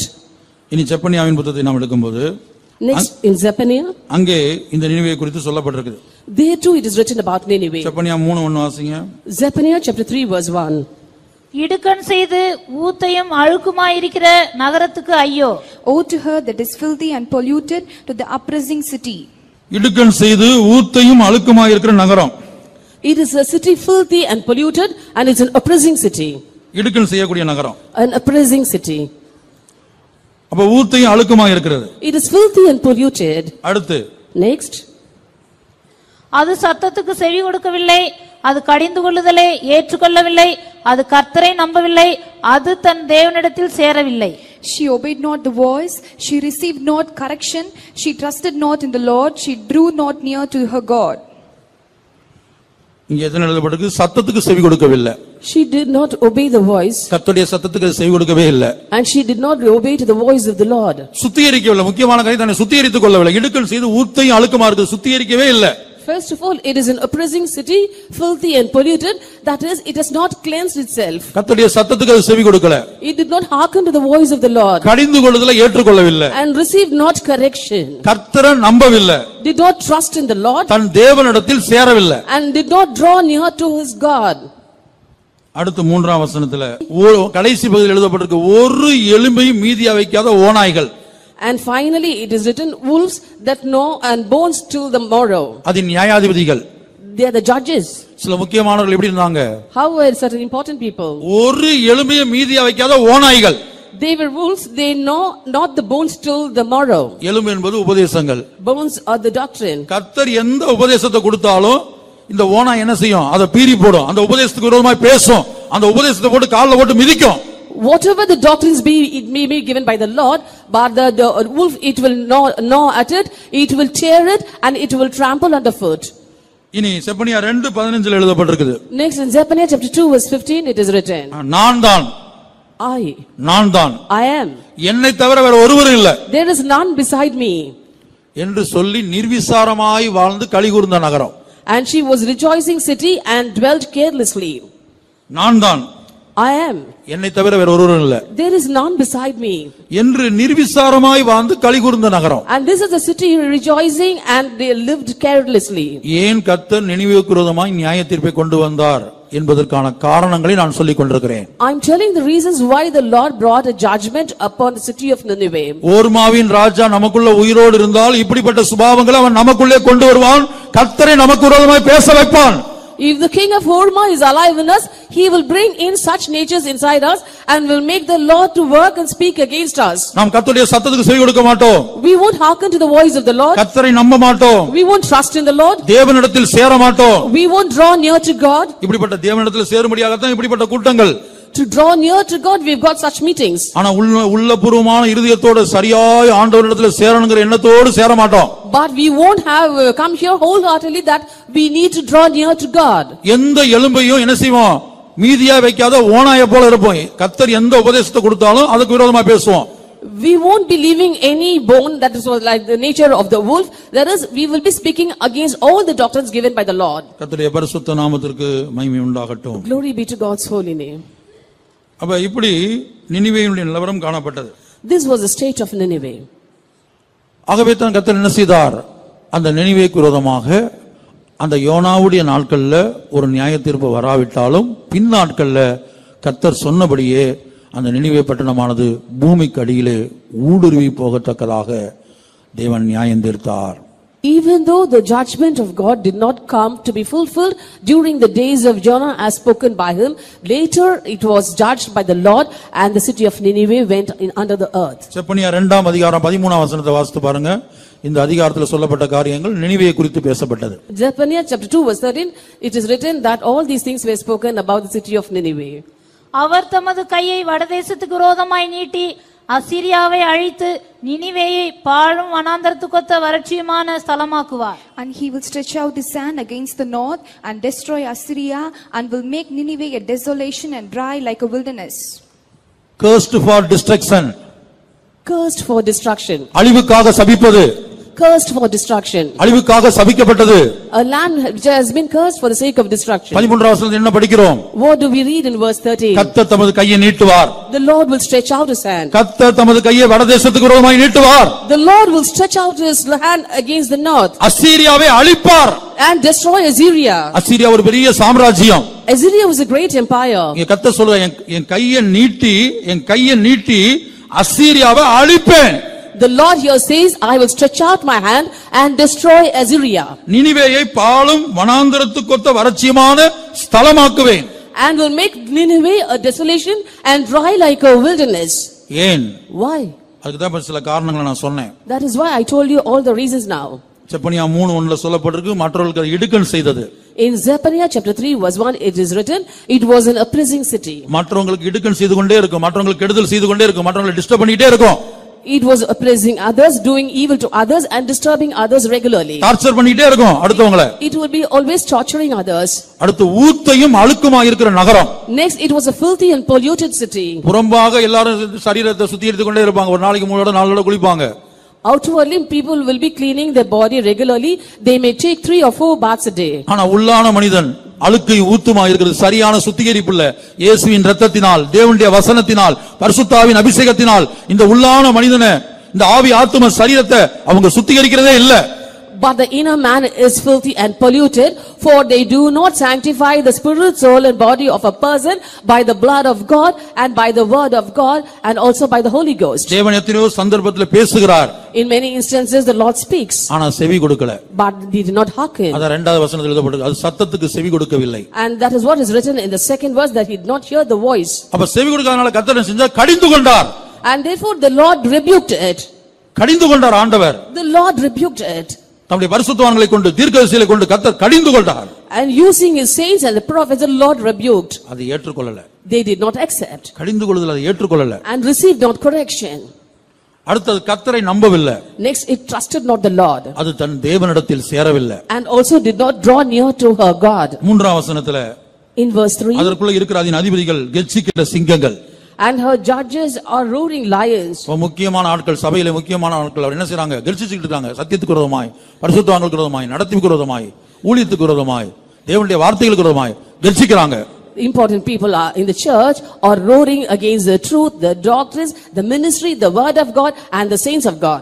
அது நியாயாதிபதிகள் The judges, மற்றவங்களுக்கு நியாயம் பேசுவாங்க they will be judging others. ஊரெல்லாம் கூப்பிட்டு பஞ்சாயத்து பண்ணுவாங்க and gather together the whole country and will be having a kangaroo court. வாங்க வாங்க உங்க பிரச்சனை எல்லாம் நாங்க தீர்க்கிறோம் Come here, I will solve your problems. நியாயாதிபதிகள் They are judges ஆனா என்ன செய்யும் உபதேசத்தை கால்ல கீழே போட்டு மிதிக்கும் and they will trample underfoot the doctrines. நியாய எவ்வளவு அருமையா எழுதப்பட்டிருக்கு பாருங்க It is beautifully written அது. நியாயாதிபதிகள் They judges. அது எப்படி இருக்காங்க சாயங்காலத்துல புறப்படுகிறதும் விடியற்காலம் வரைக்கும் ஒரு எலும்பை மீதியா வைக்காதான் எந்த உபதேசம் எந்த உபதேசம் சொன்னாலும் அதை ஃபாலோ பண்ணாது கால்ல கீழே போட்டு மிதிச்சுட்டு போயிட்டே இருக்கும் The judges are evening wolves, no, not the bones till the morrow. That is, they won't leave even a single bone. That is, not even a single doctrine will be spared by them. கர்த்தருடைய பரிசுத்த நாமத்துக்கு உண்டாகட்டும் Glory be to God's holy name. அடுத்து அதில் தீர்க்கதரிசிகளை குறித்து சொல்லப்பட்டிருக்கிறது Next, it is written about the prophets. அவர்கள் வீண் பெருமையும் வஞ்சகம் உள்ளவர்கள் They are light and treacherous persons. தீர்க்கதரிசனம் சொல்றாங்க They prophesy. நாங்க எப்படி தீர்க்கதரிசனம் சொன்னோம் பாத்தீங்களா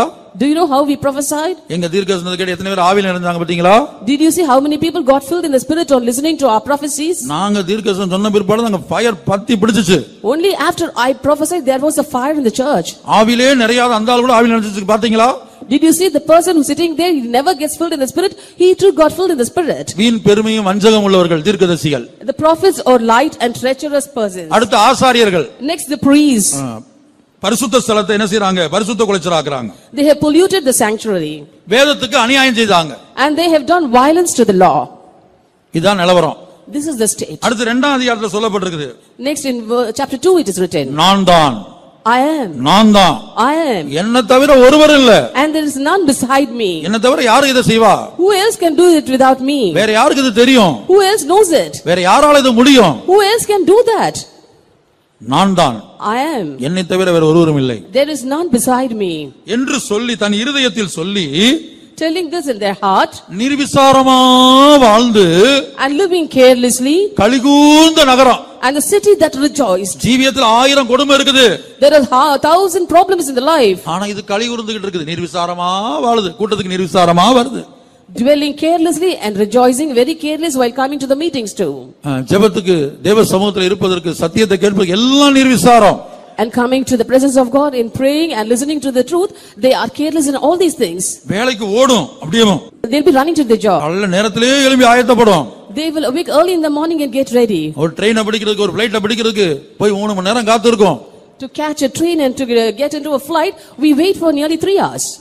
நிர்விசாரமாய் வாழ்ந்து களி கூர்ந்த நகரம் ஆவிக்குரிய காரியங்கள்ல நிர்விசாரம் A city that rejoiced and dwelt carelessly, that is living carelessly in our spiritual life. அப்ப இந்த ஓர்மாவின் ராஜா இதுல உள்ள ஒரு கேரக்டர் நமக்குள்ள இப்ப நான் இவ்வளவு கேரக்டர் சொன்னேன் இதுல ஒண்ணு நமக்குள்ள வந்தா போதும் I've told you so many characters. Out of this, this, if one thing comes into us, கத்தர் என்ன சொல்வார் தெரியுமா do you know what the Lord will say? என் கையை வடதேசத்துக்கு விரோதமாய் நீட்டி I will stretch out my hand towards the north அசீரியாவை அழித்து and destroy Assyria Nineveh என்ன செய்வேன் பாலான ஸ்தலமாக்குவேன் and make Nineveh a desolate place. இப்ப ஓர்மா ராஜா நமக்குள்ள உயிரோடு இருந்தால் கத்தர் நமக்கு விரோதமாய் பேசக்கூடிய கத்தர் நமக்கு விரோதமாய் தீர்க்கதரிசனம் சொல்லக்கூடிய சுபாவங்களை அவன் நமக்குள்ளே கொண்டு வருவான் Therefore, if the king of Orma is alive in us, he will bring in natures into us so that the Lord speaks against us and the Lord prophesies against us. நான் இதோட முடிக்கிறேன். ஏன்னா இந்த தனிப்பட்ட மனிதர்களுக்கு விரோதமாக கத்தர் பேசியிருக்கிறார். நீ அழிந்து போவாய் என்று சொல்லி ஒரு தனிப்பட்ட மனிதனுக்கு விரோதமாக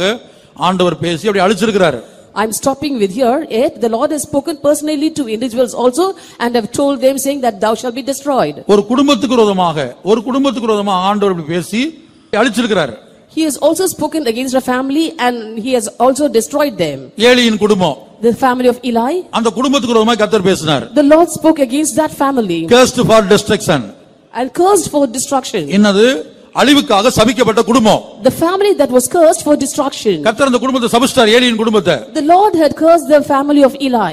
நீ சாவ You will die, உன் பிள்ளைங்க சாவாங்க your children will உன் die, குடும்பத்துல ஒருத்தனும் இருக்க மாட்டான் and not one will remain in your family. ஆ, ஒண்ணு சாமியில படித்து பாருங்க கத்தர் கொடுத்தது அழிவு அது That is a destruction gi- given by the Lord, and you can read that in First Samuel. அப்படி ஏலி என்ன பாவம் பண்ணார் What was the sin committed by Eli? தன் பிள்ளைகளை அடக்காமல் போய்விட்டான் He restrained not his children. தன்னுடைய பிள்ளைகளை பக்தியிலே வளர்க்காமல் போய்விட்டான் He did not bring his children in a godly manner.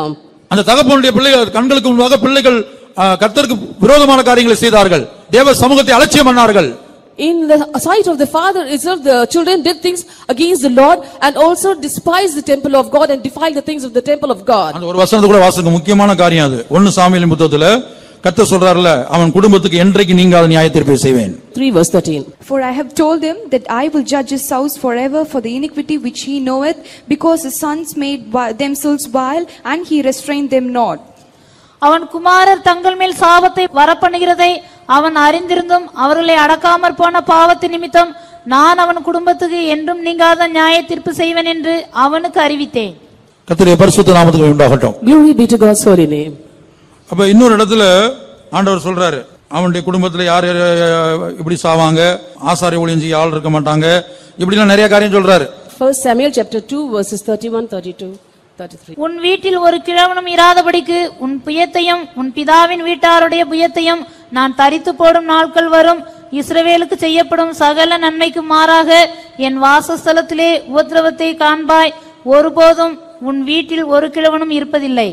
Behold, the days come that அடுத்து. I, என் பலிபிடத்தில் சேவிக்க நான் உன் சந்ததியில் நிர்மூலமாக்காதவர்களோ உன் கண்களை பூத்து போக பண்ணவும் உன் ஆத்மாவை வேதனைப்படுத்தவும் வைக்கப்படுவார்கள் உன் வம்சத்திலுள்ள யாவரும் வாழ வயதிலே சாவார்கள் Behold, the days come that I will cut off thine arm and the arm of thy father's house, that they shall not be an old man in thine house, and thou shalt see an enemy in mine habitation, in all the wealth which God shall give Israel, and there shall not be an old man in thine house forever, and the old man of thine whom I shall cut off, who sh- whom I shall not cut off from an altar, shall be to consume thine eyes, and to grieve thine heart, and all the increase of thine house shall die in the flower of their age. உன் வீட்டுல ஒரு கிழவன் இராதபடிக்கு உன் புயத்தையும் உன் பிதாவின் வீட்டாருடைய புயத்தையும் நான் தரித்து போடும் நாட்கள் வரும் Days shall come that I will cut off thine arm and the arm of thy father's house, that there shall not be any old man in thine house. என் வாசஸ்தலத்திலே உபத்திரவத்தை காண்பாய் And uh, you shall see problem in my habitation. உன் வம்சத்துள்ள யாவரும் வாழா வயதிலே சாவார்கள் And all in thine house shall die in the flower of the age. இதெல்லாம் கத்தர் பேசின காரியம் All these things have been spoken by the Lord. ஏன் பேசினாரு Why? காரணம் என்ன What's the reason? முப்பதாம் வசனத்தின் கடைசி பகுதியில் எழுதப்பட்டிருக்கிறது At the end of verse 30 it is written, என்னை கனம் பண்ணுகிறவர்களை நான் கனம் பண்ணுவேன் Him that honoreth me shall I honor. என்னை அசட்டை பண்ணுகிறவர்கள் கனயினப்படுவார்கள் They that despise me shall be lightly esteemed.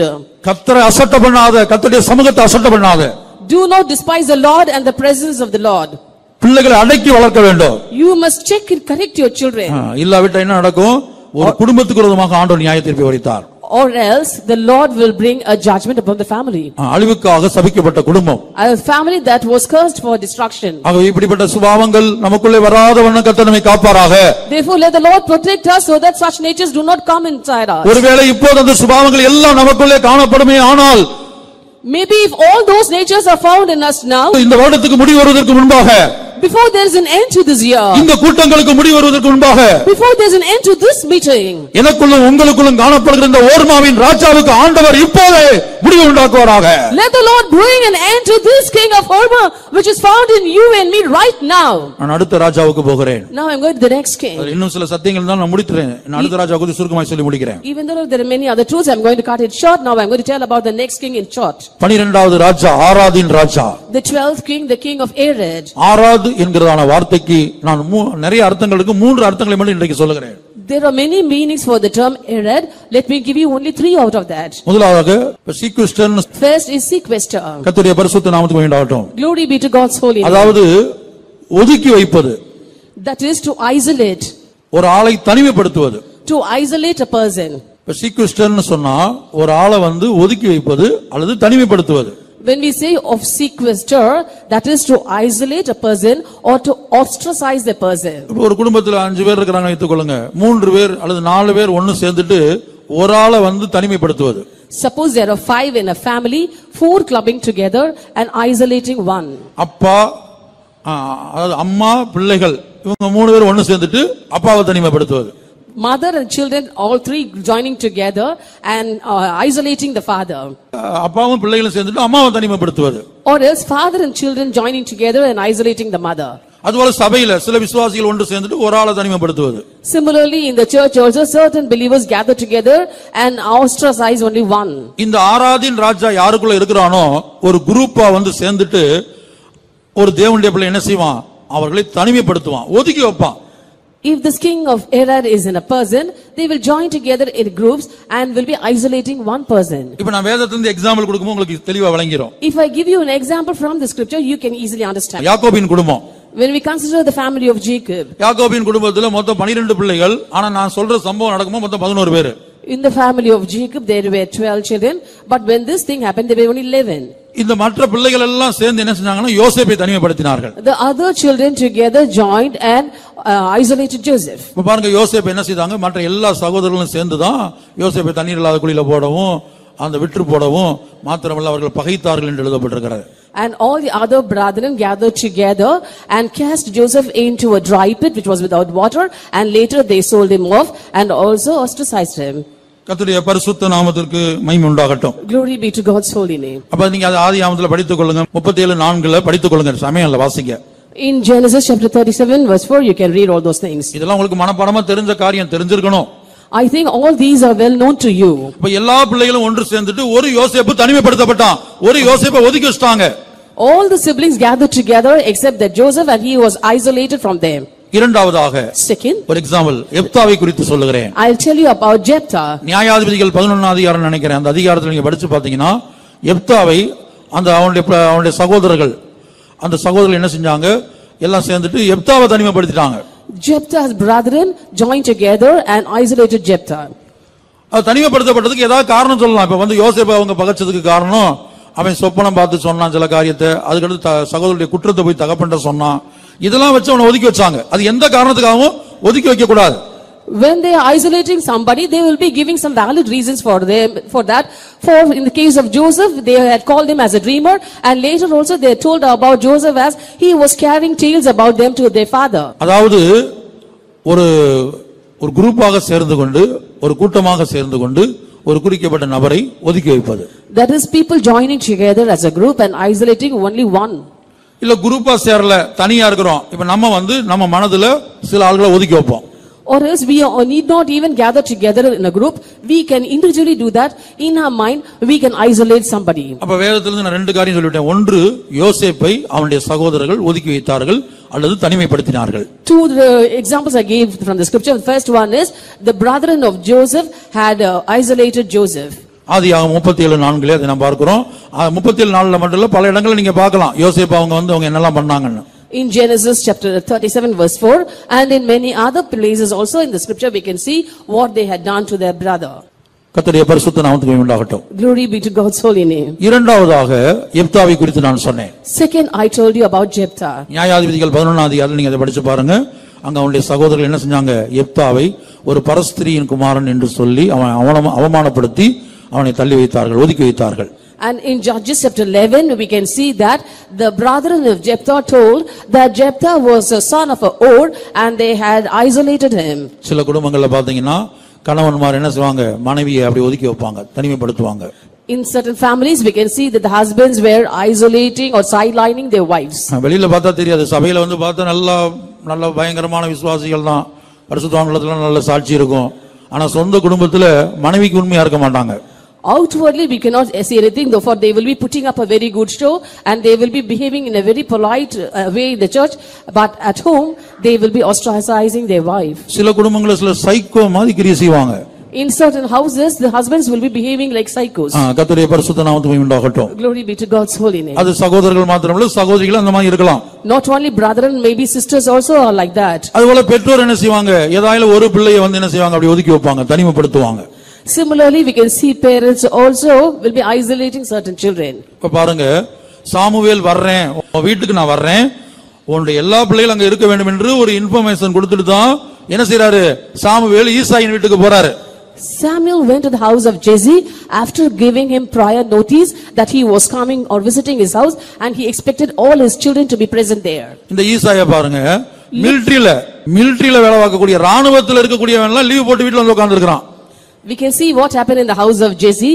His children who were working in the military had opted for a leave and they were present in their house. எது கடினமான காரியம் ராணுவத்துல ஒரு ராணுவத்துல வேலை பார்க்கறான் ஒரு ராணுவத்துல வேலை பார்க்கக்கூடியவன் விடுமுறை எடுத்து வீட்டுக்கு வர்றதுதான் கஷ்டம் சொந்த ஆடுகளை மேய்க்கிறவன் என்ன செய்யலாம் எப்ப வேணாலும் விடுமுறை எடுக்கலாம் Which is difficult, taking leave from the military is difficult and the person who is taking care of the flock is very easy for him to leave off the flock and come back to his house. ஆனா ஈசாய பாருங்க But look unto Jesse. ராணுவத்துல வேலை பார்க்கறவன் மற்ற இடத்துல இருக்க எல்லா பிள்ளைகளும் அங்க இருக்கிறாங்க ஒரே ஒரு ஆளை காணா ஒரே ஒரு ஆள் இல்ல எங்க இருக்குது அந்த ஆள் எங்க இருக்குது ஆடுகளை மேய்த்துக் கொண்டிருக்குது All the children who were in the military and in some other job were present in the house, but only one was missing. That was the one who was in the fields looking after the sheep. அபிஷேகம் பண்ண வந்த சாமியில் ஒவ்வொரு ஆளா பார்த்து பாக்குறாரு இவர்தான் இவர்தான் கத்த தெரிந்து கொண்டாளா இவரை தான் கத்த ராஜா அபிஷேகம் பண்ணிருக்காரு ஒவ்வொரு பிள்ளையா பாக்குறாரு கத்த சொல்லிட்டாரு இது ஒண்ணுமே இல்லைன்ட்டாரு As the children were made to pass by one after the other, Samuel was looking at them with uh, gaze to see if this was the one who was to be anointed by the Lord, but the Lord had rejected everybody. Samuel ஈசாயை பார்த்து கேட்கிறாரு உன் பிள்ளை எவ்வளவு தானா இவ்வளவு தானா அப்படின்னு கேட்கிறாரு Then Samuel asked unto Jesse, are, are these thy children? இன்னும் ஒருத்தன் இருக்கிறான் There is yet one, அவன் வனாந்திரத்துல இருக்கிறான் and in the wilderness. ஆடுகளை மேய்த்துக்கிட்டு இருக்கிறான் He keepeth the sheep. கத்துடைய பரிசுத்த நாமத்துக்கு மேம்பண்டாகட்டும் Glory be to God's holy அப்ப. பாருங்க ஈசா என்ன செஞ்சான் எங்க வந்து தாவீது அபிஷேகம் பண்ணிடுவாங்களோ அல்லது கிடைக்கிற நன்மை தாவீது கிடைச்சிருமோ அதனாலதான் தாவீது அனுப்பிட்டாங்க. தனிமைப்படுத்தப்பட்ட தாவீது ஒதுக்கி வைக்கப்பட்ட தாவீது பெத்த தகப்பனால் உடன் சகோதரர்களால் ஒதுக்கி வைக்கப்பட்ட தனிமைப்படுத்தப்பட்ட தாவீதை தேவன் தெரிந்தெடுத்தார். Jesse feared that Samuel may anoint David as king, so he had isolated him and sidelined him. But the Lord chose the one who was isolated and sidelined, and he made him the king. அதான் மற்றவங்க நம்மளை தனிமைப்படுத்தணுங்கிற அவசியம் இல்ல இந்த society இந்த சமுதாயம் நம்ம தனிமைப்படுத்தணுங்கிற அவசியம் இல்ல சபை நம்ம தனிமைப்படுத்தணுங்கிற அவசியம் இல்ல குடும்பத்திலே இருப்பாங்க It is not necessary that a sp- person in the society should isolate you or church should isolate you. There may be people from your own family to isolate you. கர்த்தருடைய பரிசுத்த நாமத்திற்கு மகிமை உண்டாகட்டும். Glory be to God's holy name. இப்ப இத்தனை சம்பவங்களை நான் சொல்லிவிட்டேன். I have told you all these examples. இனி தனிப்பட்ட ஒரு மனிதன் இப்ப நான் இருக்கிறேன். யாராயிலும் ஒரு ஆளை பார்த்து ஒதுக்கி வைக்கிறேன் மனதளவுல. இருதயத்துல ஒருவேளை வெளியில சொல்லாம இருக்கலாம். மனதிலேயோ இருதயத்திலேயோ நான் ஒரு ஆளை ஒதுக்கி வைக்கிறேன். அப்ப என் முடிவு என்ன தெரியுமா? நான் எங்க இருப்பேன் தெரியுமா? நரகத்துல இருப்பேன். And now personally, an individual person about them, I'm telling, suppose I myself, I may not be avoiding or isolating anybody literally, but I may be avoiding them in my heart. Do you know where I will be finally? I'll be in hell. Asia தீர்க்கதரிசன புத்தகம் அறுபத்தி ஐந்தாம் அதிகாரம் ஐந்தாம் வசனத்துல அதை படிக்கிறோம் We read that in the prophetical book of Isaiah, chapter 65 and verse 5. நீ உன் மட்டில் இரு என் சமீபத்தில் வராதே உன்னை பார்க்கும் நான் பரிசுத்தன் என்று சொல்லுகிறார்கள் இவர்கள் என் கோபத்தாலாகிய புகையும் நாள் முழுதும் எரிகிற அக்கினியுமாயிருப்பார்கள் நீ உன்மட்டில் இரு Stand by thyself. நீ உன்மட்டில் இரு Stand by thyself. ஏன் சமீபத்துல வராத Come not near to me. ஏன் பக்கத்துல வராத Come not near to me. உன்னை பார்க்கல் நான் பரிசுத்தன் For I am holier than thou. உன்னை பார்க்கல் நான் பரிசுத்தன் I am holier than thou. உன்னை காலில் நான் ஜெபிக்கிற ஆளு I pray more than you pray. உன்னை காலில் நான் விசுவாசம் உள்ள ஆளு I have a better faith than you have. நீ என் பக்கத்துல வராத Don't come near me. இப்படி யாராவது யாரையாவது ஒதுக்கி வைக்கிற அனுபவம் In this way, somebody isolating another one. அப்படி ஒதுக்கி வச்ச முடிவு என்னன்னு கத்தரங்க சொல்றாரு And in this way, if you isolate someone, the end is spoken there itself by the அப்படி Lord. ஒதுக்கி வைக்கிறவங்களுக்கு முடிவு என்ன What is the end of the one who isolates another? இவர்களின் கோபத்தாலாகிய புகையும் நாள் முழுதும் எரிகிற அக்னிமாயிருப்பார்கள் They are a smoke in my nose, a fire that burneth all the day. இப்ப நாள் முழுதும் அக்னி எங்க எரியுது Where does the fire burn all the day? எப்போது அக்னி எரியிற இடம் தான் நித்திய அக்னி கடல் The eternal hellfire is the place where fire burneth all the day. கர்த்தருடைய பரிசுத்த நாமத்துக்கு உண்டாகட்டும் Glory be to God's holy name. ஆகவே இந்த ஆராதின் ராஜா ஒரு தேவனுடைய பிள்ளைக்குள் வரும்போது அவன் என்ன செய்வான் மற்றவர்களை அல்லது ஒரு தேவனுடைய பிள்ளையை அல்லது மற்றவர்களை ஒதுக்கி வைக்கக்கூடியவனாக தனிமைப்படுத்தக்கூடியவனாக இருப்பான் அப்படிப்பட்ட சுபாவத்தை நமக்குள்ள கொண்டு வந்துருவான் Therefore, if this king of Herod is in a child of God, he will bring in a nature in us by which we are isolating others. கர்த்தருடைய பரிசுத்த நாமத்திற்கு மைமுண்டாகட்டும் Glory be to God's holy name. இப்ப பாருங்க இப்ப ஸ்கூல்லயா இருக்கட்டும் Sunday கிளாஸ்லயா இருக்கட்டும் இன்னும் பல்வேறு இடத்துல சபையிலயா இருக்கட்டும் சில பிள்ளைங்க ஒண்ணு சேர்ந்துட்டு அப்படி ஒரு பிள்ளைய ஒதுக்குவாங்க ஒரு பிள்ளைட சேர மாட்டாங்க In the school or in the church or in the Sunday class, we can see certain children gathering together and avoiding or isolating another child alone. ஷிக்வெஸ்டர்ங்கிற வார்த்தையினுடைய அர்த்தம் இதுதான் This is the meaning of the term sequester. கர்த்தருடைய பரிசுத்த நாமத்துக்கு மைமுண்டாகட்டும் Glory be to God's holy ஒதுக்கி. வை And isolate. தனிமைப்படுத்து And you have to ostracize them. அப்ப ஆராதின் ராஜா நமக்குள்ளே உயிரோடு இருந்தால் மற்றவர்களை நான் ஒதுக்கி வைக்கக்கூடியவர்களாய் மற்றவர்களை தனிமைப்படுத்தக்கூடியவர்களாய் அல்லது உன்னை பார்க்கல நான் பெரிய ஆள் உன்னை பார்க்கல நான் பரிசுத்தன் என்று சொல்லக்கூடியவர்களாய் நாம் இருப்போம் Therefore, if the king of Herod is al- alive alive in us, we will be looking unto others and telling, I am holier than thou, I am better than thou. We will be isolating them, sidelining them, and also ostracizing them. கர்த்தருடைய பரிசுத்த நாமத்துக்கு my உண்டாகட்டும் Glory be to God's holy name. அந்த பரிசையும் சொன்னா பாத்தீங்களா ஒன்ன காட்டிலும் ஒன்ன காட்டிலும் நான் பரவாயில்ல The Pharisee said, isn't it? He said, I'm better than you, you and you.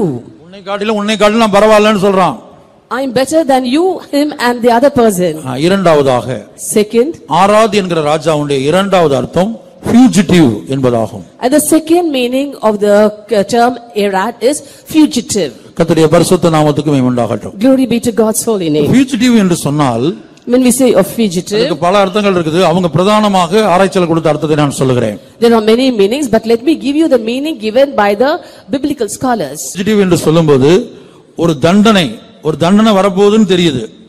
இல்ல ஒரு ஆபத்து வரப்போகுதுன்னு தெரியுது. இல்ல நமக்கு ஒரு கடமையை நிறைவேற்றணும். இப்படிப்பட்ட காரியத்திலிருந்து தப்பித்துக் கொள்றது தப்பி ஓடுறது. When we say of fugitive, it is running away from a danger or a punishment or a duty. இப்போ ஒரு தண்டனை வரப்போகுதுன்னு தெரிஞ்சா வருதுன்னு தெரியுது. வர்றது அது- அதுக்கு தப்பிட்டு ஓடிடுறது. Suppose you know that there is an impending punishment, you flee away from that place. ஒரு ஆபத்து வரப்போகுதுன்னு தெரியுது இங்க இருந்து ஆபத்துன்னு தெரியுது உடனே தப்பி ஓடிடுறது You know that if you stay in that place, there is danger for you, immediately you run away from that place. சில கடமைகளை கொடுக்கிறோம் கத்துடைய வீட்டுல கத்துடைய ஊழியத்துல In the house of the Lord, uh, we give you certain duties, உடனே தப்பிச்சு ஓடிடுறது and that is dereliction of duty. கத்துடைய பரிசுத்த நாமத்துக்கு மேல் உண்டாகட்டும் Glory be to God's holy name. அதற்கு வேதத்திலிருந்து சில மனிதர்களை நான் விளக்கம் கொடுக்கிறேன் Out of the scripture, let me give you certain examples. முதலாவதாக எலியா First is Elijah. எலியாவை குறித்து நாம் பார்க்கும்போது When we see of Elijah, ஒன்னு ராஜாக்கள் பத்தொன்பதாம் அதிகாரம் ஒன்னு முதல் மூன்று வரை உள்ள வசனங்கள் First Kings chapter 19 verses 1 to 3. எலியா செய்த எல்லாவற்றையும் அவன் தீர்க்கதரிசிகள் எல்லாரையும் பட்டயத்தாலே கொன்று போட்ட செய்தி அனைத்தையும் ஆகாப் ஏசபேலுக்கு அறிவித்தான் அப்பொழுது இயேசபேல் எலியாவினிடத்தில் ஆள் அனுப்பி அவர்களில் ஒவ்வொருவனுடைய பிராணனுக்கு செய்யப்பட்டது போல நான் நாளை இந்நேரத்தில் உன் பிராணனுக்கு செய்யாதே போனால் தேவர்கள் அதற்கு சரியாகவும் அதற்கு அதிகமாகவும் எனக்கு செய்ய கடவுள் என்று சொல்ல சொன்னால் அவனுக்கு அது தெரிந்தபோது எழுந்து தன் பிராணனை காக்க யூதாவை சேர்ந்த பெயர் சபாவுக்கு புறப்பட்டு போய் தன் வேலைக்காரனை அங்கே நிறுத்திவிட்டான் And Ahab told Jezebel all that Elijah had done, and with her how he had slain all the prophets with the sword. Then Jezebel sent a messenger unto Elijah, saying, So let the gods do to me, and more also, if I make not thy life as the life of one of them by tomorrow about this time. And when he saw that, he arose and went for his life, and came to Beersheba, which belongeth to Judah, and left his servant there. கத்துடைய பரிசுத்த நாமத்திற்கு மகிமை உண்டாகட்டும் Glory be to God's holy name. எலியா எத்தனையோ அற்புதங்களை செய்தார் Elijah had done many miracles. எத்தனையோ பேரை வெட்டு- வெட்டினார் தம்முடைய வார்த்தையினாலும் வெட்டினார் By his words, he had slain many people. பாகாலிந்து இருக்கிற சில பெட்டு உயிரோட வெட்டினார் And he had slain the prophets of Baal. ஆனா ஒன்ன வெட்டி போடுவேன்னு சொன்னபோது But when it was told unto him that I will slay you, அது ஒரு ஸ்திரீ that to a woman, இயேசபேல் என்கிற ஸ்திரீ உன்னை நாளைக்கு வெட்டி போடுவேன் என்று சொன்ன உடனேயே when the woman Jezebel had told unto him, I will slay you tomorrow, அந்த இடத்தை விட்டே தப்பிச்சு ஓடிட்டார் he fled away from that place. இதான் fugitive என்பது This is fugitive.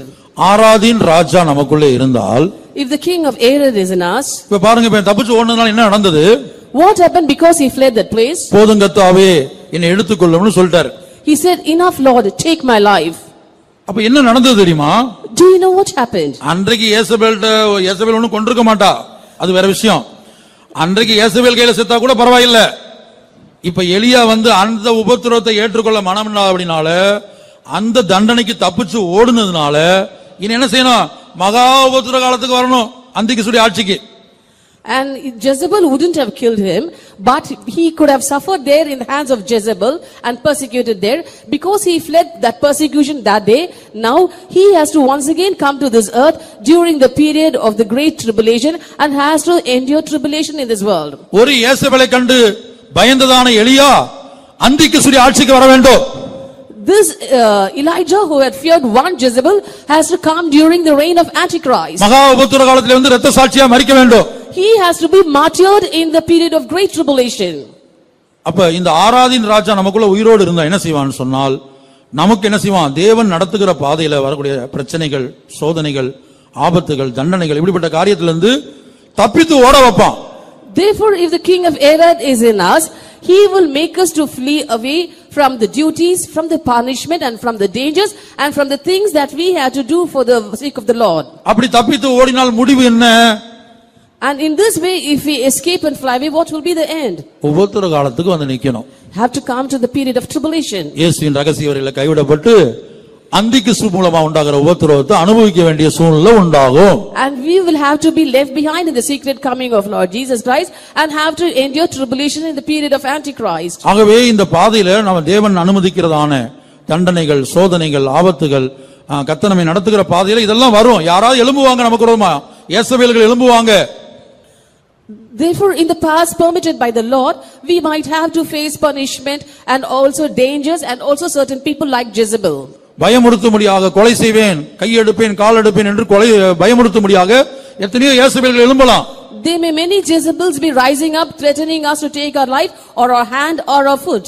ஆனால் நாம் தப்பித்து ஓட முயற்சிக்க கூடாது But we must not try to run away. கர்த்தரனை நடத்துவார் The Lord will lead me. கர்த்தரனை காப்பாற்றுவார் The Lord will save me. அவர் அறியாமல் அவர் அனுமதிக்காமல் ஒன்று சம்பவிக்காது Without His knowledge and without His permission, nothing will take place. பாருங்க இதே போல ஒரு சம்பவம் A similar incident இயேசுடைய வாழ்க்கையில வந்தது in the life of Jesus it came. சிலர் வந்து சொல்றாங்க Certain people said, இந்த இடத்தை விட்டு போயிருங்க You go away from this place. இயேசுட்ட சொல்றாங்க They said unto Jesus, இந்த இடத்தை விட்டு ஓடி போயிருங்க You escape from this place. ஏரோது உம்மை கொலை செய்ய தேடுகிறான் Herod is seeking to kill you. அப்ப இயேசு என்ன செஞ்சாரு ஓடி போகல Jesus did not flee away. அவர் சொல்றாரு இன்றைக்கும் And he said, Today நாளைக்கும். and tomorrow, நாளை மறுநாளைக்கு நான் நடமாட வேண்டும் and on the morrow I have to do the work. எருசலேமுக்கு புறம்பே ஒரு தீர்க்கதரிசியும் கொலை செய்யப்படுவதில்லை என்று போய் அந்த நரிக்கு சொல்லுங்கள் And go and tell the fox that no prophet is being killed away from Jerusalem. நான் சொன்னதப்ப இந்த நரிக்கு சொல்லுட்டாரு He I told him, Go and tell this fox what I told you.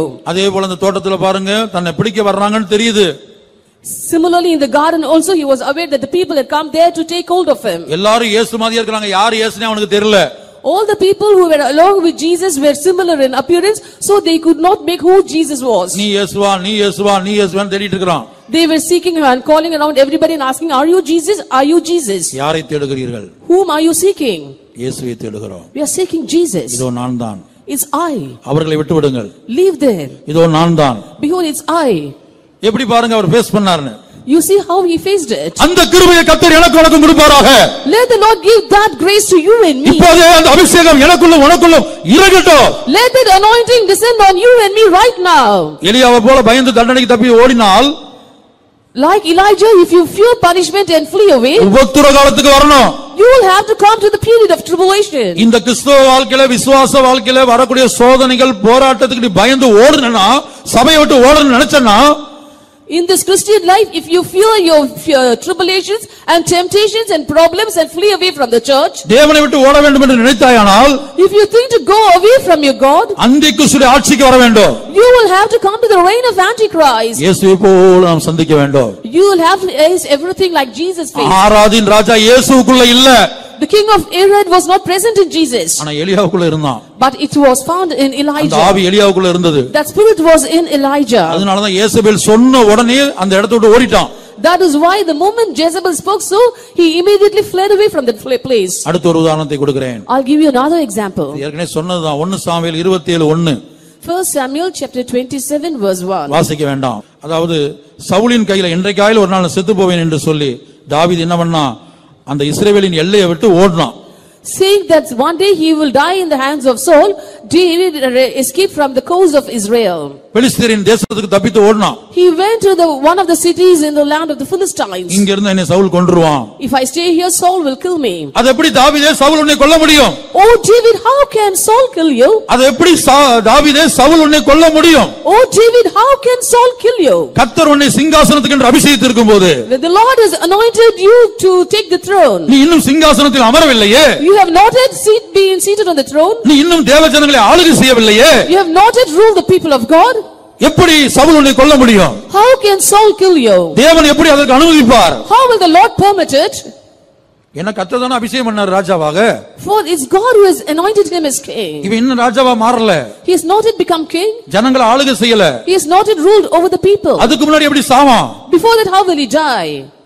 இந்த ஆராதின் ராஜாவின் ஆவி தாவீதுக்குள்ள வந்தது The spirit of the king of Arad came into David. சவுலுக்கு பயந்து இஸ்ரவேலின் எல்லையை விட்டு எங்க ஓடி போனான் பெலிஸ்தரின் தேசத்துக்கு ஓடி போனான் Fearing Saul, he left the coast of Israel and ran to the Philistine country.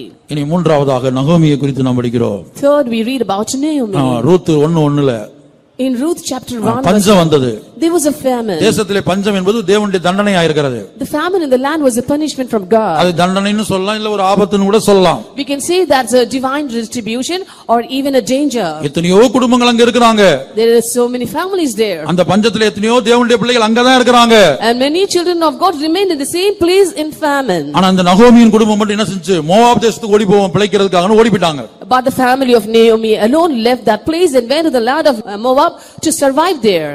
சம்பவித்தது என்ன What happened? மோவாப் தேசத்துல போனா சாப்பாடு கிடைச்சிச்சு In the land of Moab, they had food to eat. ஆனால் புருஷனை இழந்தாள் But she lost her husband இரண்டு வாலிப பிள்ளைகளை இழந்தாள் வாலிப பயமார இழந்தாள் and she lost both her sons who were young. எப்படி சம்பவிக்கிறது பாருங்க See how it happened. Fugitive Fugitive, இந்த ஆராதின் ராஜா this king of Arad. ஆ, தேவன் நடத்துகிற பாதையில வரக்கூடிய சோதனைகள் ஆபத்துகள் தண்டனைகள் பிரச்சனைகள் உபத்திரவங்கள் இவைகளை விட்டு தப்பி ஓட பண்ணக்கூடிய ஆவி is a spirit which makes you to flee away, escaping the presence of God when you are expected to face some dangers or punishment or anything of the sort. அடுத்தபடியாக Next, இந்த ஆராதின் என்கிற ராஜாவுக்கு மூன்றாவது அர்த்தம் காட்டுக்கழுதை என்பதாகும் the third meaning for the term Arad is a wild ass. முதல் அர்த்தம் சீக்வஸ்டர் The first meaning is sequester. இப்ப சீக்வஸ்டர் என்று சொன்னால் தனிமைப்படுத்துவது Sequester means to isolate, ஒதுக்கி வைப்பது to ostracize. இரண்டாவது ஃபியூஜிட்டிவ் என்று சொல்லும்போது ஆ, ஆபத்து அல்லது தண்டனை அல்லது ஒரு கடமையை நிறைவேற்றாமல் தப்பித்து ஓடுவது And when we say a fugitive, to run away from a duty or a punishment or a danger. மூன்றாவது அர்த்தம் காட்டுக்கழுதை And the third meaning is wild ass. அப்ப காட்டுக்கழுதையினுடைய ரெண்டு சுபாவங்களை நான் சொல்லி முடிக்கிறேன் I want to conclude by- telling two meanings for natures of this uh, wild ass. யோபு இருபத்தி நான்கு ஐந்து வாசிங்க First Job chapter 24 verse 5. யோபு இருபத்தி நாலு ஐந்து Job 24 5. இதோ அவர்கள் காட்டுக் கழுதைகளைப் போல இறை தேட அதிகாலமே தங்கள் வேலைக்கு புறப்படுகிறார்கள் வனாந்தர வெளிதான் அவர்களுக்கும் அவர்கள் பிள்ளைகளுக்கும் ஆகாரம் கொடுக்க வேண்டும் Behold, as wild asses in the desert, go they forth to their work, rising betimes for a prey. The wilderness yieldeth food for them and for their children.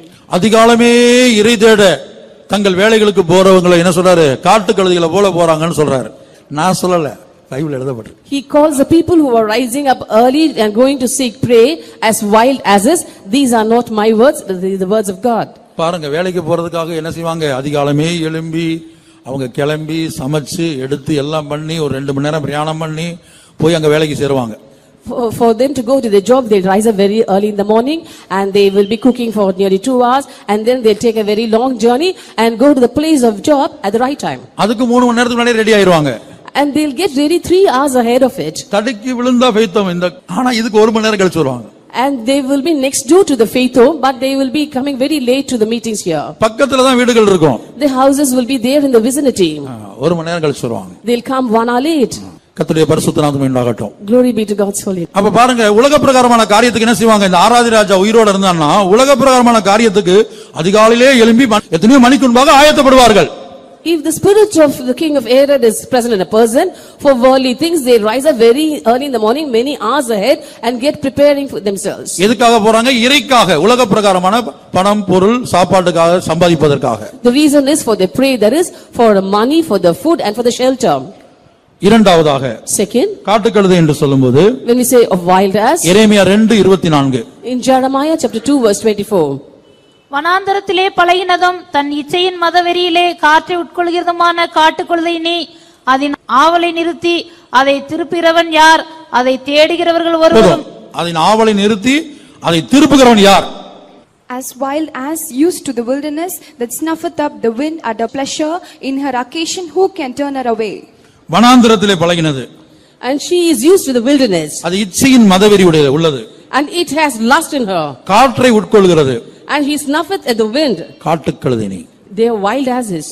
இப்ப காட்டுக்கழுதை என்ன செய்யும் காற்றை உட்கொள்ளும் The wild ass snuffeth by the wind, அடுத்து அதன் ஆவலை நிறுத்தி and stopping her pleasure. அதனுடைய ஆசையை நிப்பாட்ட முடியாது Nobody can stop her அது pleasure. இச்சையை கட்டுப்படுத்த முடியாது Nobody can control her அப்ப lust. காட்டுக்கழுதை என்று சொல்வது தங்களுடைய ஆசைகளை இச்சைகளை கட்டுப்படுத்த இயலாதவர்கள் Therefore, when we say of a wild ass, those are the people who cannot control their pleasures and their lusts. சுயத்தில் தன்னுடைய மனம் போன போக்கில் கத்துடைய வழி நடக்காமல் தங்களுடைய சொந்த இஷ்டத்தில் நடக்கக்கூடியவர்கள் Those who do not walk in the ways of the Lord, but walk in their own ways according to their desire. கர்த்தருடைய பரிசுத்த நாமத்துக்கு மகிமை உண்டாகட்டும் Glory be to God's holy நாம் name. எல்லாரும் கண்களை மூடுவோம் Let's all close our eyes. அப்ப ஆராதின் ராஜா என்றால் மூன்றாவது அர்த்தம் காட்டுக்கழுதை The third meaning for the king of Arad is in wild ass. உலக பிரகாரமான காரியத்திற்காக அதிகாலையிலேயே புறப்பட்டு ஆயத்தப்படுகிறவர்களை அங்கே காட்டுக்கழுதைக்கு ஒப்பாக சொல்லுகிறார்கள் And they have compared the people who rise up very early in the morning and get ready for the things of this world have been called as wild asses. அவரோட அர்த்தம் என்னன்னு சொன்னா நீங்க வேலைக்கு போறது தப்புன்னு இல்ல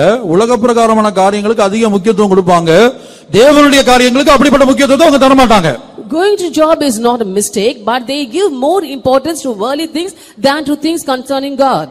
அடுத்தபடியாக காட்டுக்கழுதை என்று சொல்லும்போது அது இச்சை உள்ளது Next, when we say wild asses, it's filled with அது lust. மதவெறி உள்ளது And it has got a pleasure ah, of அதை காற்றை உட்கொள்ளக்கூடியது is able to snuff at the wind. அது ஆவலக யாராலையும் ஸ்டாப் பண்ண முடியாது அதை திருப்ப முடியாது Nobody can stop or turn away its pleasure.